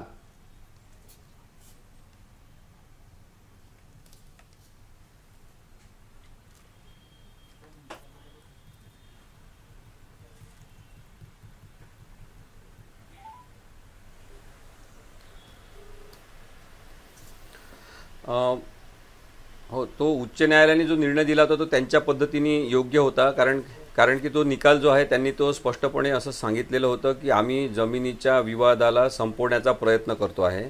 जसं आत्तासुद्धा सर्वोच्च न्यायालयाने एक व्यवस्थापनच करण्याचा प्रयत्न केलेला आहे. कारण की तसं पाहिलं तर राम ही मायथॉलॉजिकल अशा प्रकारची एक व्यक्ती आहे. आपल्या धर्म संस्कृती आणि आपल्या सगळ्यांना धार्मिक वळण लागण्यासाठी धार्मिक वळण लागण्यासाठी अशा काही संकल्पना या आवश्यक आहे. आणि त्यामुळे स अलाहाबाद उच्च न्यायालयाने जो निर्णय दिला होता तो जागेसंदर्भातला होता. पण त्याच्यात महत्त्वाचं म्हणजे हिंदू पक्षकार आणि मुस्लिम पक्षकार दोन्ही धर्माच्या पक्षकारांनी आक्षेप घेतला होता की आम्हाला तो ते जजमेंट मान्य नाही. आणि या पार्श्वभूमीवर सर्वोच्च न्यायालयाने जो निर्णय दिलेला आहे की मुळात ही जमीन होती कोणाची तर मुळात ही जर सरकारची जमीन असेल आणि जसं आपल्याला माहिती आहे की एकोणीसशे त्र्याण्णवमध्ये ही संपूर्ण जमीन काँग्रेसच्या कालावधीमध्ये सरकारने अधिग्रहण केलेली आहे. मग जी अधिग्रहण सरकारने केलेली जमीन आहे ती यांना वाटायचा प्रश्न काय आहे? ती सरकार वाटेल. आणि अशा पद्धतीने सर्वोच्च न्यायालयाने तो निर्णय घेतला आणि सरकारला डायरेक्शन दिलेली आहे की त्यांना वेगळ्या ठिकाणी जमीन द्या. आणि इथे जिथे रामाची पूजा होत होती असे काही पुरावे सर मी तुम्हाला थांबवतोय थोडं. रविश न्यायपूर्ण तरीके से ये हुआ है तो सबको इसको स्वागत करना चाहिए। मैं पूरी दिल से इस फैसले को स्वागत करता हूँ निर्णय को स्वागत करता हूँ ये बहुत लंबे समय से जो चला आ रहा था ये संघर्ष इसका पूर्ण विराम हो गया है अब देश की जनता आगे प्रगति के पथ पर चले और सांप्रदायिक सौहार्द को बनाए रखें Gurudev, since you were a part of the mediation panel, do you think that the judgment delivered today is probably even better than what the mediation panel could have come out with? I cannot comment on that, but uh, this is exactly on the lines of what uh, we have been also speaking, and I've been talking about this in 2003. I'm very happy about the judgment that uh, it has done justice to both communities, and it is welcome by people from all cross sections of society. Gurudev Sunil Board is saying that we are not satisfied with the verdict. Some of them are talking about challenging it as The You know, there will always be a small percentage of people who will uh, not be very happy with it, but generally, since we have been in the mediation, we have to, spoken to people on both sides, and uh, I feel that people are very uh, satisfied with this. Gurudev, judgment. Gurudev, do you feel that people of all faiths should come forward and uh, should be encouraged to go ahead and build temple and uh, mosque in Ayodhya? Yes, of course, of course, and set an example in the world for unity in diversity. Can India move ahead now with this? Because this India, nothing can stop India. India is moving ahead very fast, and it will move fast. Gurudev, one uh, fear that many have expressed is this could open up a Pandora's box in similar other cases across the nation. No, no. In the judgment, they have very clearly said about honoring the 1991, uh, you know, amend, uh, amendment, uh, you know, the clause. So uh, it's a very, very uh, fair and really strong judgment, which everyone should be proud of. Sir, It's as a historic judgment. As a precedent, this judgment to uh, you know future cases that come up on similar cases that exist in the country on similar lines, wo- how will that have, have a bearing? You feel? No, I don't think uh, it will have any impact on other. Uh, in fact, it's very clearly stated that uh, you know this is a special case, and we have to uh, look into this with sensitivity and sensibility.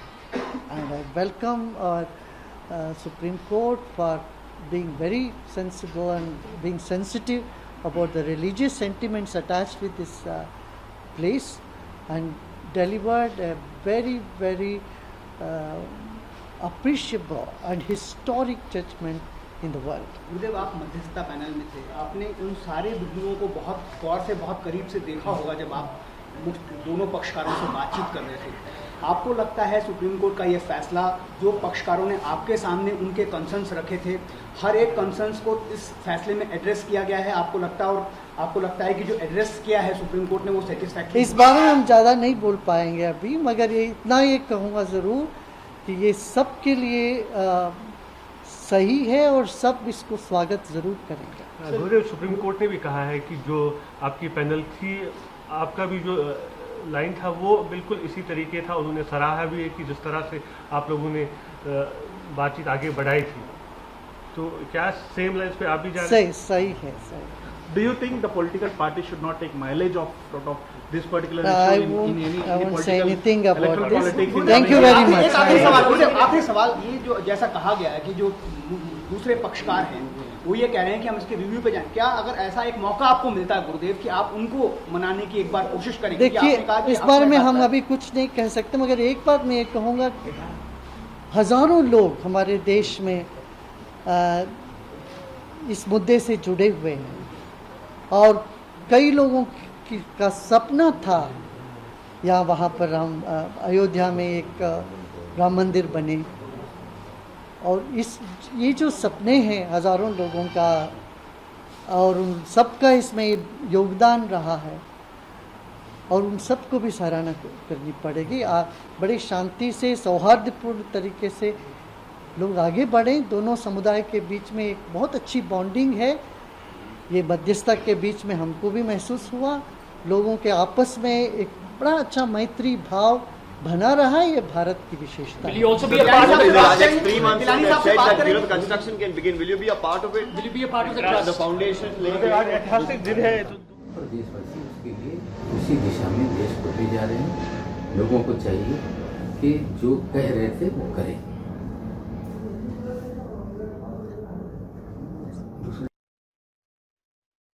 तेव्हा दोन्ही समुदायामध्ये मैत्रीभाव आहे असं म्हणालेले आहे श्री श्री रविशंकर. मध्यस्थ म्हणून त्यांची नेमणूक करण्यात आलेली होती या प्रकरणी. आणि त्यांनी आता माध्यमांसमोर प्रतिक्रिया देताना सुप्रीम कोर्टाचा सन्मान सर्वांनी राखावा असं आवाहन केलेलं आहे. तेव्हा अनेक व्यक्तींकडनं आता प्रतिक्रिया व्यक्त केली जाते. आपल्यासोबत नागपूरहून आहेत ज्येष्ठ पत्रकार गोपाळ देशमुख सर. देशमुख सर अतिशय महत्त्वाचं हे प्रकरण भारताच्या इतिहासातलं आपण पत्रकार म्हणून त्याचा अभ्यास केलेला असणार आहे आपण ते अनुभवलेलं आहे जवळून हा हे सगळं प्रकरण. तेव्हा भारताच्या राजकारणातलं या प्रकरणाचं महत्त्व कितपत आहे? आणि दीर्घकाळ त्याचं त्याचे परिणाम कसे असतील?